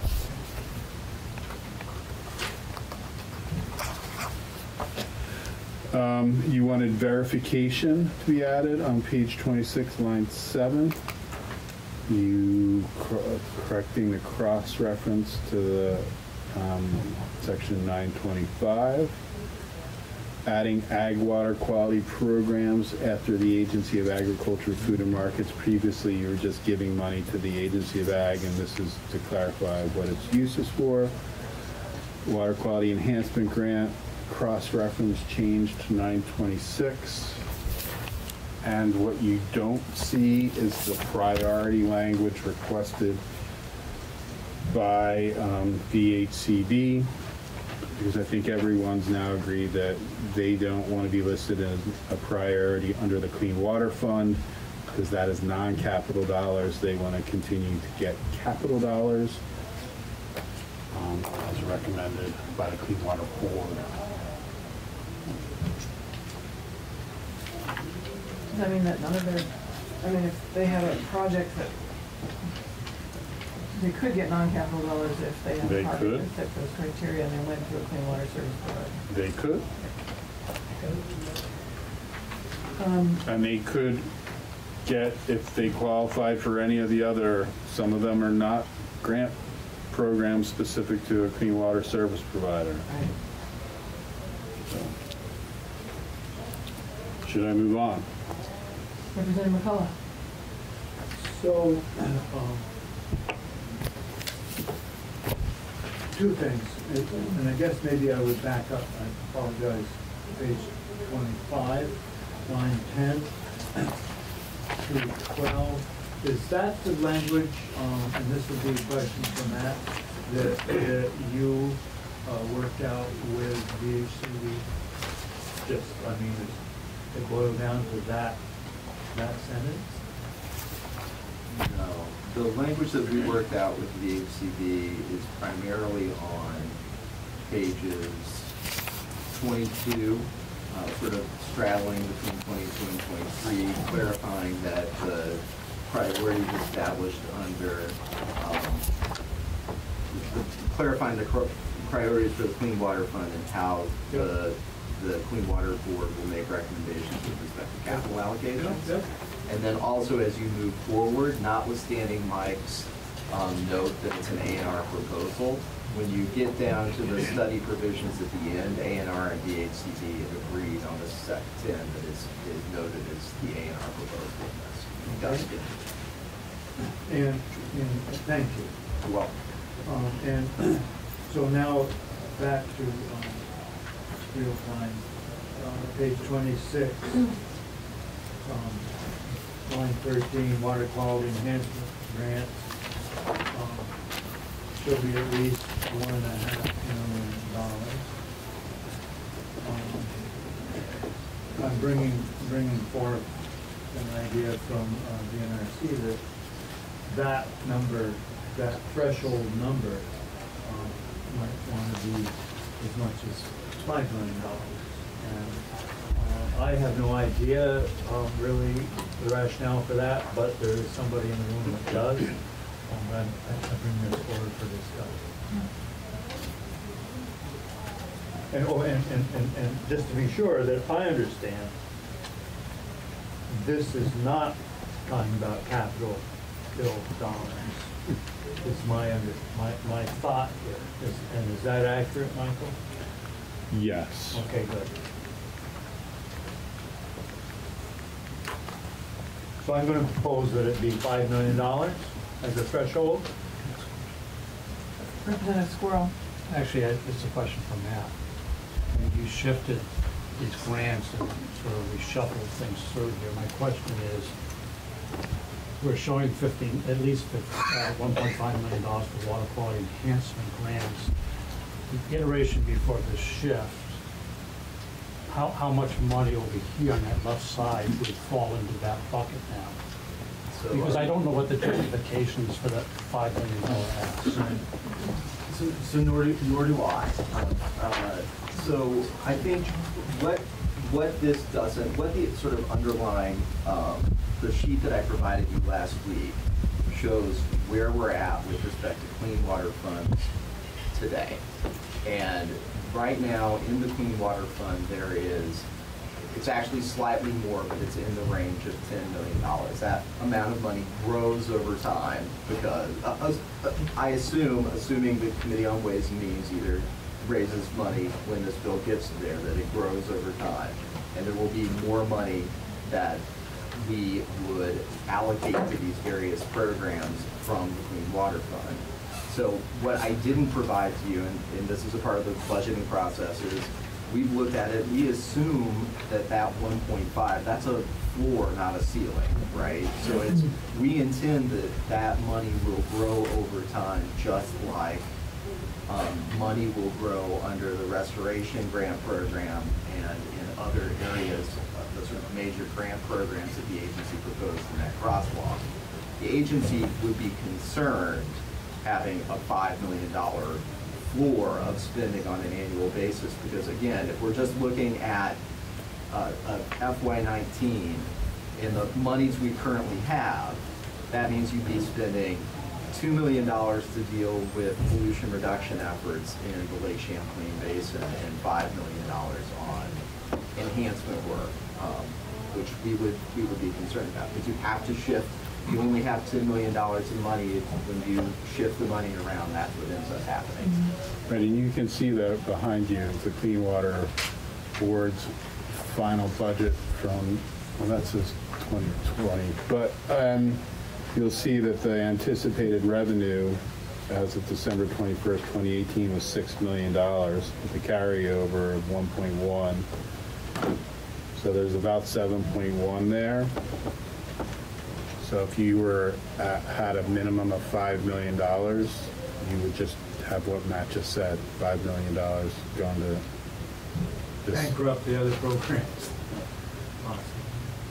But, yeah, John, So my understanding was this is when the fund is, as Matt said, this is gonna go to Ways and Means. This is not based on this year's money and how much is in the fund right now, but it's based on having at least fifteen million, because right now we have money from the property transfer tax surcharge, you have money from these sheets. Uh, we understand that there's gonna be eight to ten million dollars, that's the goal, to add to that. Um, and it's gonna grow, and that the secretary is calling for five more million dollars next year. So that's, that was how we were looking at this, not today, you know, in this moment today. Uh, because this program doesn't exist today, and it won't exist, actually, even if you pass it, for at least a year. you might just say no. Senator Dolan. Well, the current funding level is typically around, in reality, it's about five million plus the sheet, so you're talking about six to seven million, as we described. The floor you talk about, if that's envisioned currently, that's one point five, it represents about twenty-five percent. So another option is to use a percentage basis.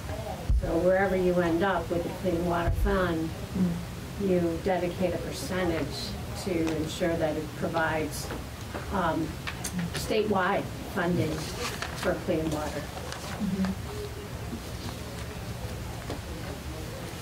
What might that be in your mind right Well, um, then, you know, it's, in this case, if you used six or seven, and that was your floor at one point five, and maybe you would argue that that's too, too low.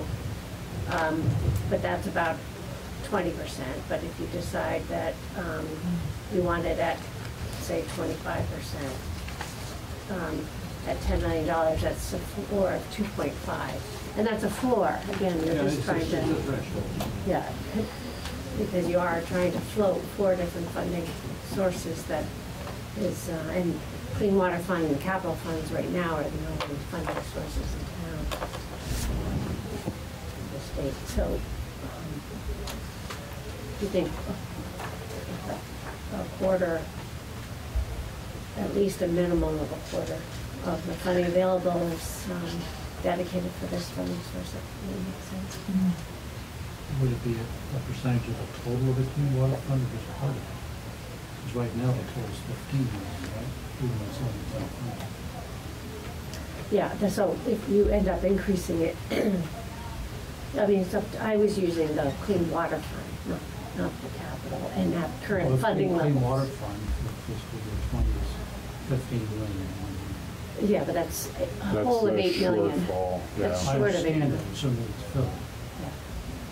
So I was looking at more of a current actual position. One point five is a percentage of current levels. But if you could, you could do it that way too. You could say, well, if your goal is, is, um, fifteen million for fiscal year twenty, and decide on the floor, it's just math, just deciding what your floor would be or what percentage makes sense. What do folks think about the idea of a percentage of the clean water fund? I like that. I like it. Just coming Is up it, with the numbers, so. Well, how switching up, I did crunch a few ideas.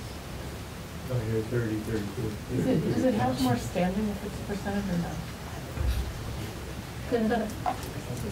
The HCB is supposed to get a percentage every year, and they never get that percentage.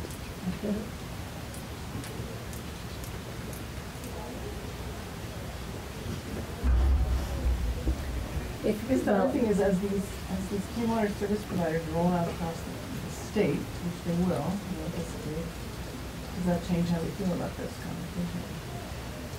As everyone gains more access to the other, the formula funds, that, that's gonna change how we feel about how we allocate the money? Mm-hmm. I mean, um, I, I guess we're all trying to balance these priorities, knowing that we have a heavy lift to restore these degraded waters, but we want to provide a, minimum amount of funding available for statewide priorities to fix our local water quality problems. So whether it's, I, I think we could decide a range. Um, I just think, you know, what, what, what's our gut feeling tell us? I think um, fifteen percent seems too low, twenty percent we're getting okay. And, but you could argue that 30, 35 percent may be too high, given the amount of lift we have on expensive projects from agriculture to um, stormwater impairment. So that's where I, I arrived at somewhere like a a quarter of the money, or you could say a third, but that's where my gut is telling me. Or you could give a range, you could do that, you could say you expect a range of talking somewhere. about, we're talking about floor. Not get too complicated. Representative McCullough? Well, um, so my recommend was what the NRC did, um, which was five million a floor, of. um, and we've heard their rationale. Then I was jumping on the percentage thing, but when, when, when, when you, Amy, said, well, as other grant programs grow, maybe a percentage thing will be going somebody's ox elsewhere, if you will. I hear not quite your words, but, and I go, yeah. Um, so then having a monetary floor, a number, which can grow according, uh, uh, certainly, as Matt pointed out, um, I think is a better idea than a percentage because we don't really know, right, at the moment, we don't really know how these programs are gonna compete with each other, and they will be for the finite dollars. So to put a percentage in, well, one hand seems good, and I, but I think a hard floor there is good, whether it's one and a half million or whether it's five or something in between. Um, I'm still sticking with five, five million because, um, they're one of my favorite agencies. Well, I, I, you know, five million or fifteen million, if that's our two thousand twenty is a third, you know, that's where I got that one-third number to, and maybe that becomes our floors that we expect a minimum thirty percent of the funds be available statewide to address local statewide water quality. Can the committee support five million? I don't understand the impact of it. How, how does it fit into where we have our priority list? But is it impacted by that list? Where does it fit? It, it fits in that it's the second, no, actually, it's the, the fourth listed one, but they're all given equal priority. But basically, what you're saying is that this has to be funded first with five million or fifteen, one point five million. And then you can go on to the others. So you, So- you will be, you potentially, depending on how much money is there, are impacting how much money goes to the other programs. So that, that's the twenty-four dollar question is, uh, How much money? how much money is there? Right. And we don't know. I mean, that's, we don't, we don't know that answer. We don't, but we could speculate, We know right? I that- mean, we know that the, the recommended is fifteen million, we know it's a shortfall date. We know that what the governor's recommended was the date, that the EPA said we like that. So now it's not there. Yeah, but if he- We're taking out, so the assumption is that eight million is gonna be found somewhere, otherwise the EPA is gonna have a problem with our agreement. So I, I like the idea of a percentage, whether it's twenty-five or thirty percent of the clean water you know, not a dollar amount. Is the percentage of floor in your mind? That's what I was A thinking. percentage would be the full. Okay, yeah, Yeah. which is the same concept totally, only it's expressed in percent. It's a little loose, a little more flexible, than Yeah. the percentage.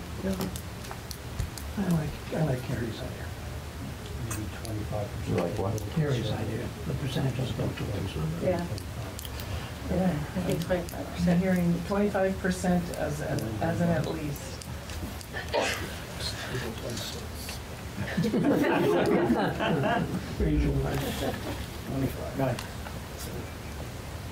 Okay, then move on. Page 27, line 10, um, conforming cross-reference. Page 28, line 17 through 19, we're going to change the name of that grant program. Um, Can be Developed Lands Grant Program.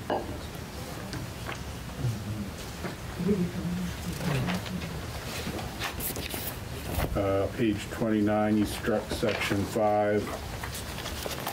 Um, Page 29, line 21, you included verification uh, in the list of uh, activities that the um, RPC is authorized to do. I think you should add that also on page 30, line 13, um, for the conservation districts, consistency. Verify. Yeah. Uh, Then you corrected a um, erroneous cross-reference to the regional planning commissions on line 14. Should be the Natural Resources Conservation District.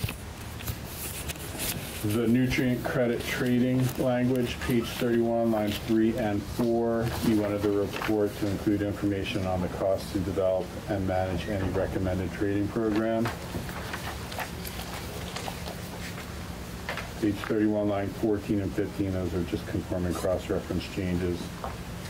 And then section 10, you have VHCB's original proposal on page 31, and then A and R's responding proposal on page 32. As you heard, I was not there when the institutions committees made its decisions about funding um, and making recommendations for capital appropriations for water quality conservation programs. Apparently others were, so.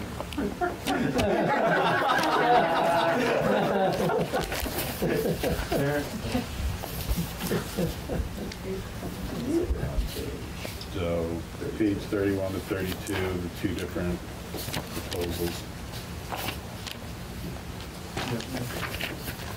Yeah. Representative Cohen. And for clarification, I think I heard you came to an agreement.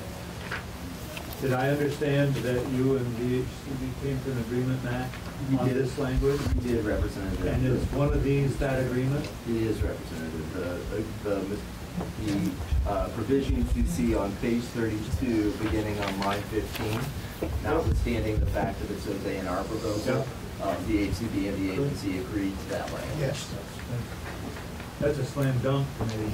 I'm sorry, I missed it. I was being I'm not finding it either. So, so the, the, the one that's titled A and R proposal is actually an agreement between the Agency of Natural Resources and the HCB. So page 32, line 15. Okay, so who wants to walk us through this? Michael? Wow, You asked if I want to. Please walk us through. I'm inviting you.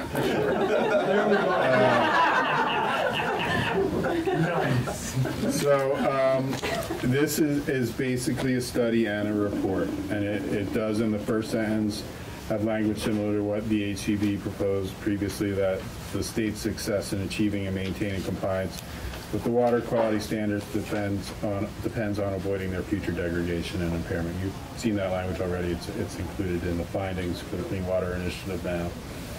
And then the permanent protection of lands for multiple conservation purposes, including for protection of surface waters, and prioritized for multiple values are an important component of this work. Again, that's something that's built in effectively into the findings for the Clean Water Initiative.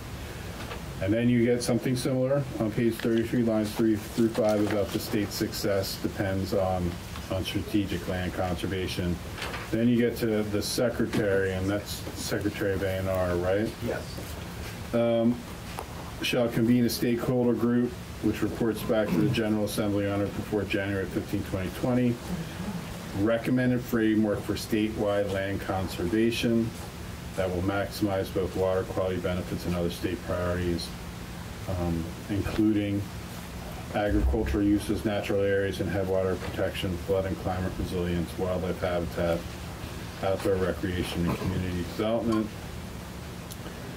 Um, The recommendation shall also consider opportunities to leverage federal and other non-state funds. And the stakeholder group shall include the following: the secretaries of Ag and Natural Resources, the executive director of VHCB, the president of Vermont Land Trust, the um, the Vermont and New Hampshire director of the Trust for Public Land, the state director of the Nature Conservancy. Do you want designees written in there, or are you guys going to show up at all these meetings on your on your own?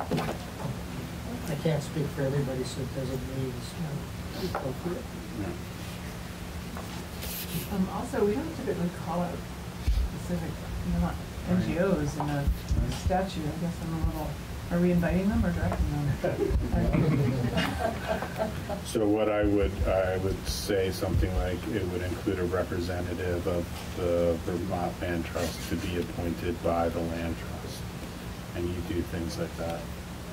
VHCB is often referenced. They're a little bit different, but I just, I guess I've not seen it done that they call out specific nonprofits. That's, that's fine, I can come up with generalized language that would achieve the same purpose. I guess you're telling me I just, it hasn't happened in my time here, but it happens.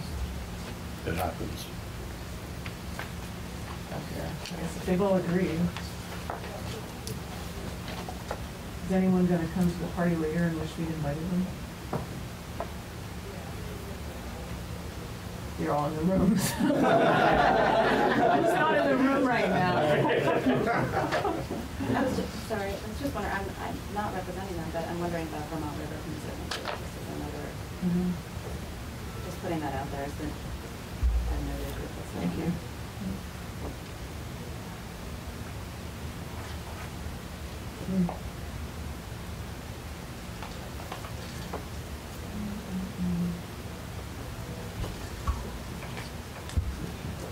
Phil? Um, Phil Huffman with the Nature Conservancy. I might just add, I think there may be other um, folks from the land trust community who might be interested in having a voice in this process, but um, if they're not specified in the membership of the group, I think there are other ways that we could get at that by those of us who are named, um, reaching out to them uh, over the course of the process to get their input and bring it into the dialogue um, of the working group, for instance some of the smaller land trusts, things like that, that may not have the capacity to be a participant on an ongoing basis in something like this.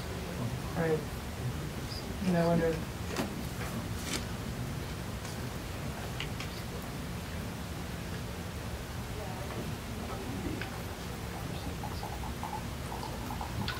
You editing? Uh, Yes, I- Mhm. so on page thirty-three, line five, uh, it should be conservation, not conversation. Yeah. Um, okay, so I'm wondering if there's a way to, uh, uh, I don't know how you include what Phil just said about others. I mean, there are people who just don't happen to be here and they want to be part of this. And I think it's just out there. And I, I guess I also wonder about 9 11 12, considering opportunities to leverage federal and other non-federal funds for conservation as, part of the, um, we're making a strategic land conservation recommendation? They're recommending how to prioritize the funding of, of conservation. Right. Funding and conservation. State, no, sta- recommended framework for statewide recommendation. Yeah. I guess that's fine, it just seems like funding comes and funding goes, and Vermont should have priorities that are separate from dollars that are associated with it, if we're actually planning for meaningful land conservation. What's the thinking behind including that? I think part of the thinking is that, you know, I could offer a tiny bit of good news, we have an opportunity to add two million dollars to support our farmland work if we can raise the match for it.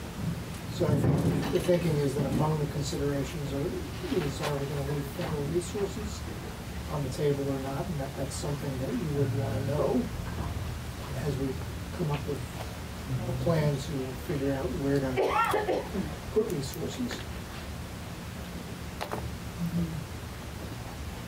Mm-hmm.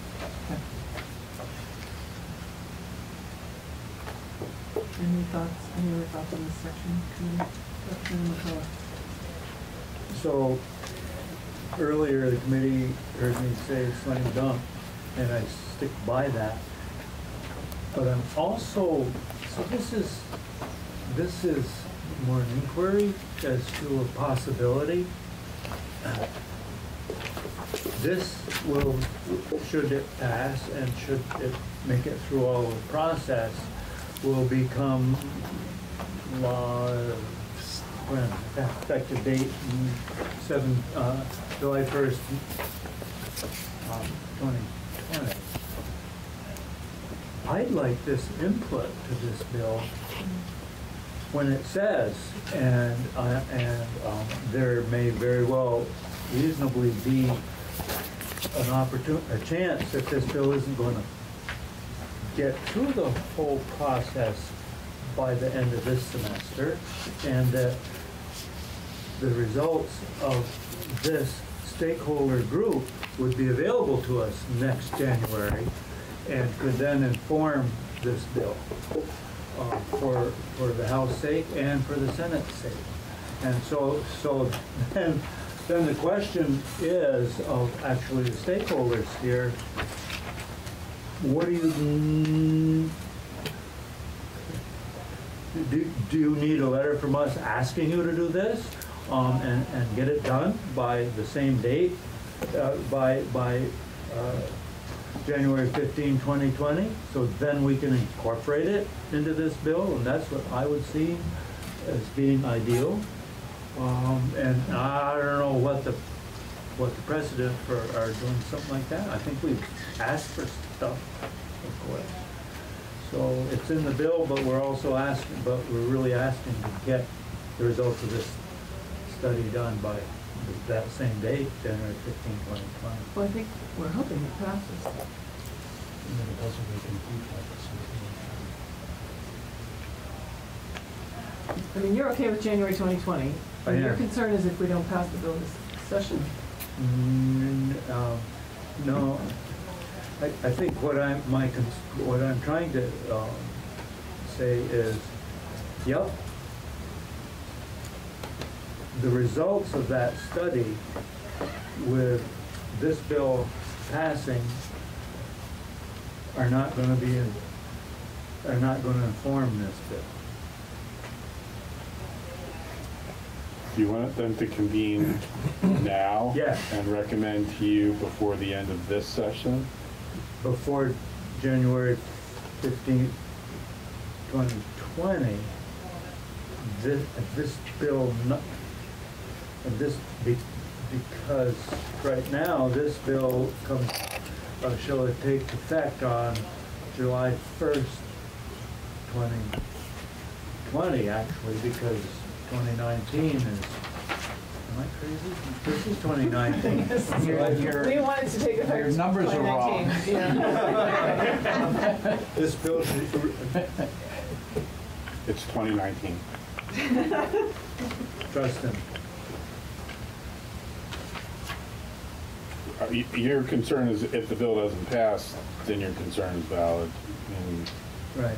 And you have in the past, when things have broken down like that, you have written letters to request that they go forward with these groups without the specific legislative directive. Yeah. But it's a little early for that, I would say. So,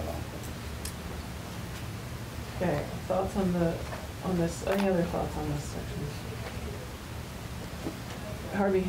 Yeah, no, I, I just, looking at this section with the, the group and the stakeholders group, you know, you're talking about meeting water quality standards, and, uh, we need to have a, a strategic, uh, um, land conservation, uh, proposal, and yet, part of that should include folks own land. You know, they're, they're stakeholders and they're missing here. And I think when we started talking about the water quality projects, we had, you know, a lot of, uh, um, watershed groups, you know, set up and formed, and they did incredible work on trying to figure out their piece of the puzzle. And I, I think if we're gonna continue with that idea, they need to be part of this as well. And I don't know how, I mean, you can invite them, you can't demand that they be here, but, um, I, I think that they're part of the, the solution to the puzzle we're trying to solve, or put together.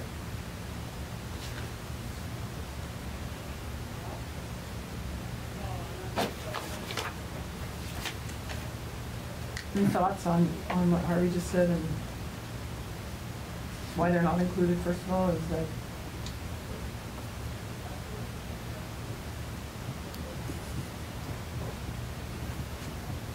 how to include them, Representative McCullough?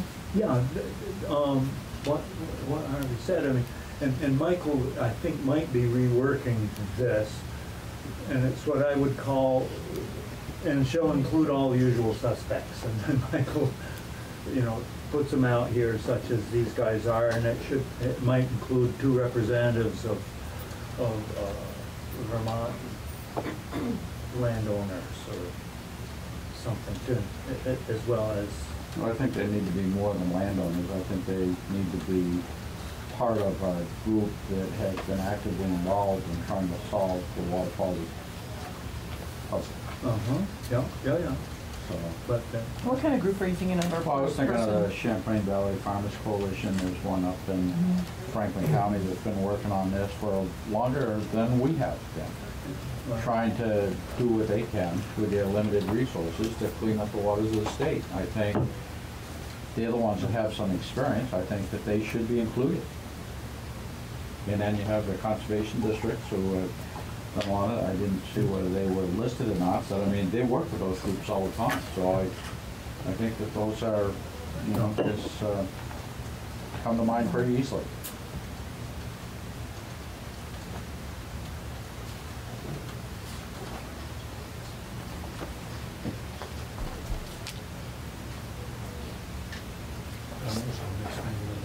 Yeah, what he said, And we're, we're talking specifically about this section, right, on land Yeah. conservation.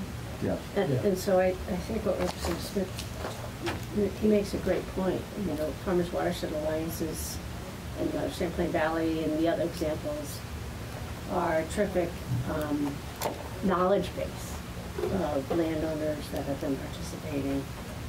Um, Whether they, yeah, I think inviting them to participate makes sense because they, I know, work very closely with some of these conservation groups already and they may be able to shed the light on, um, you know, a perspective, off a perspective that would be very meaningful.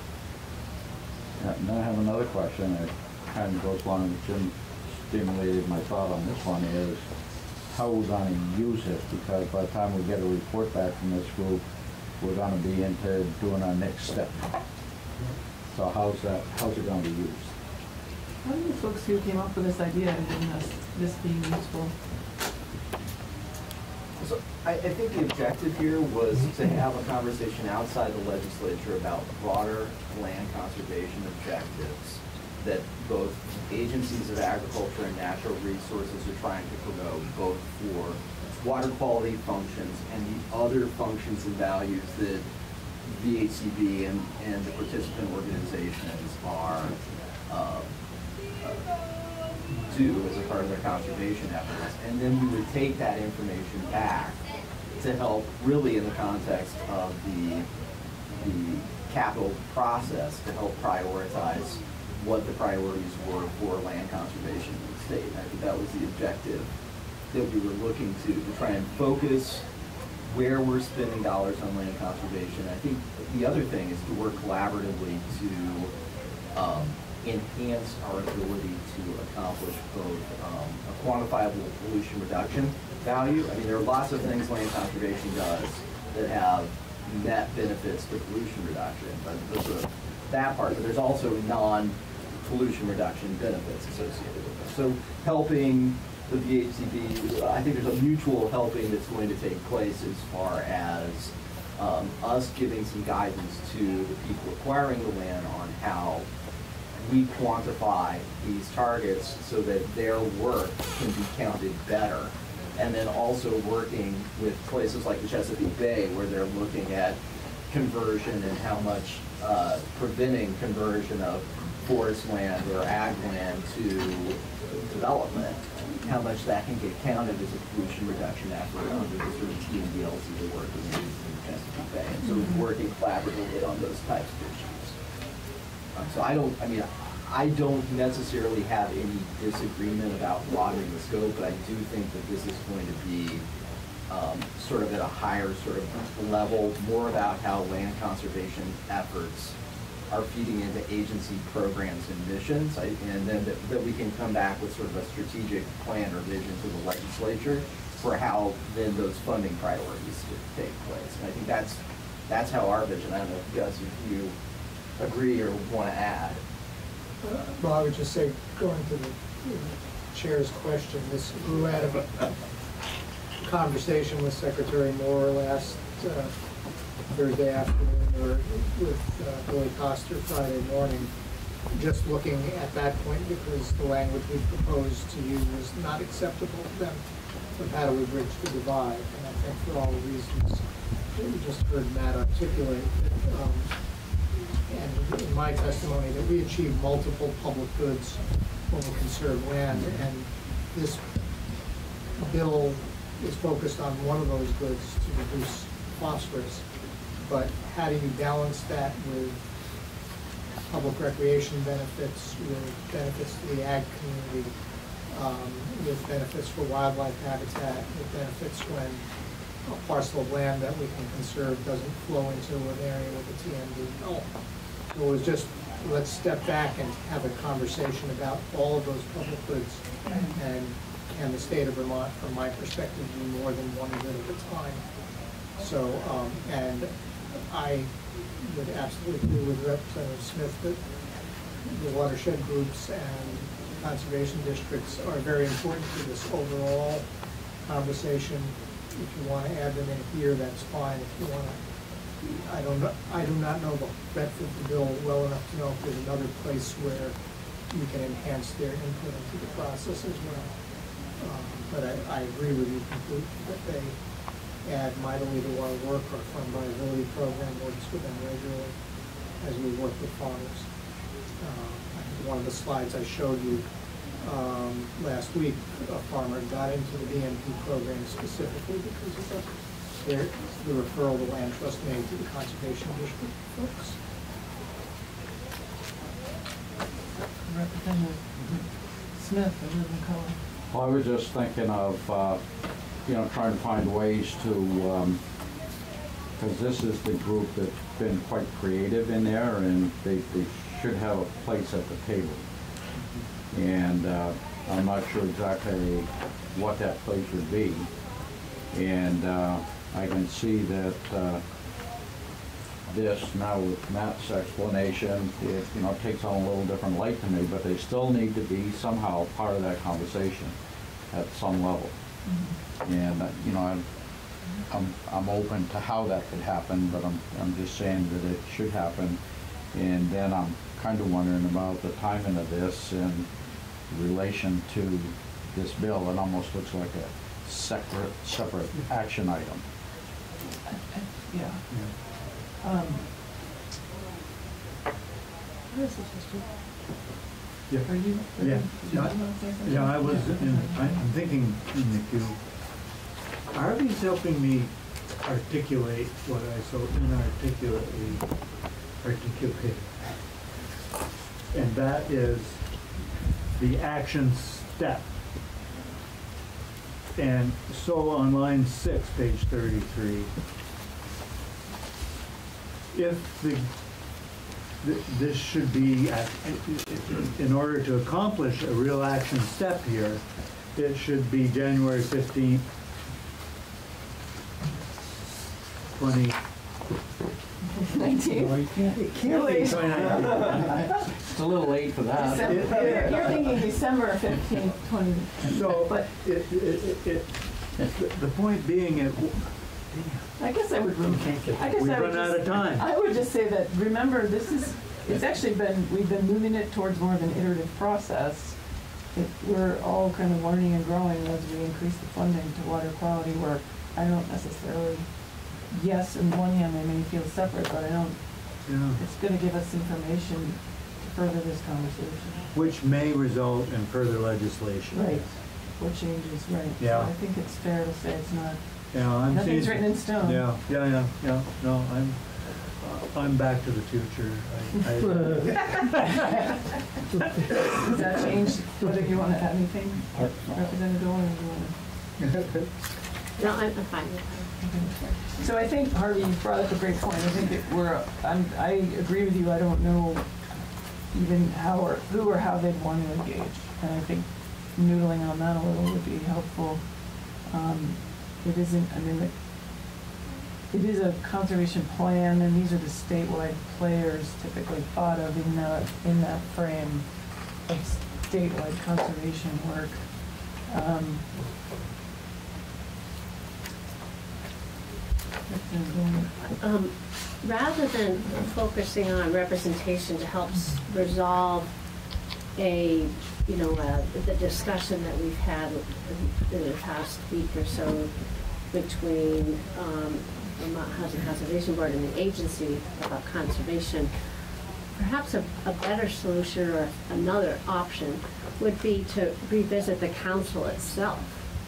And here in the council, based on the watersheds, that's where we would want that kind of voice to help in the decision-making and ranking of projects at that watershed scale.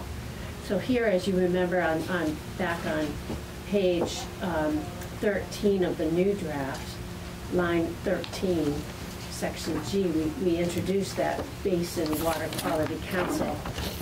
And, uh, and I know we were trying to, somewhat constrained in trying to keep the size to a reasonable number, but here we identify on page, starting on 14, the various entities that would be part of this whole process, similar to what we've heard from Vicki Drew, similar to that state technical committee rankings.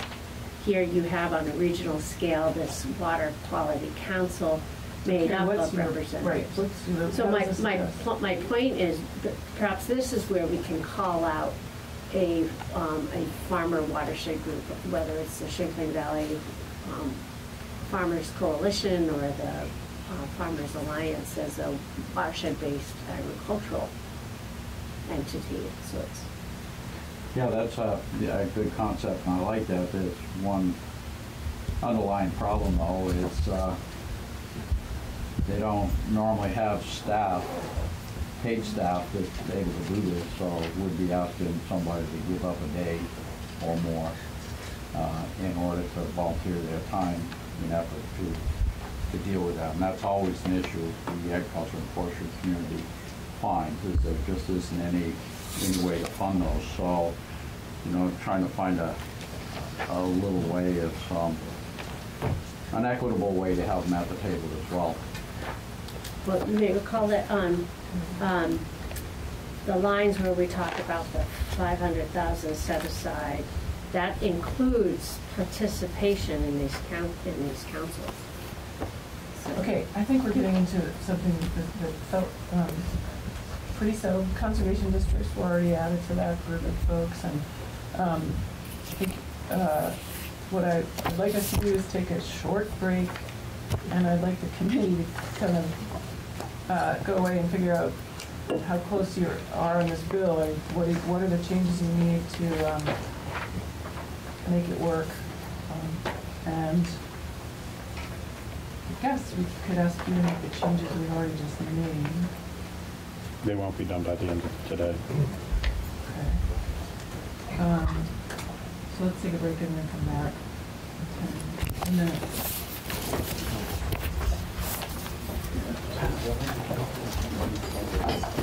You can't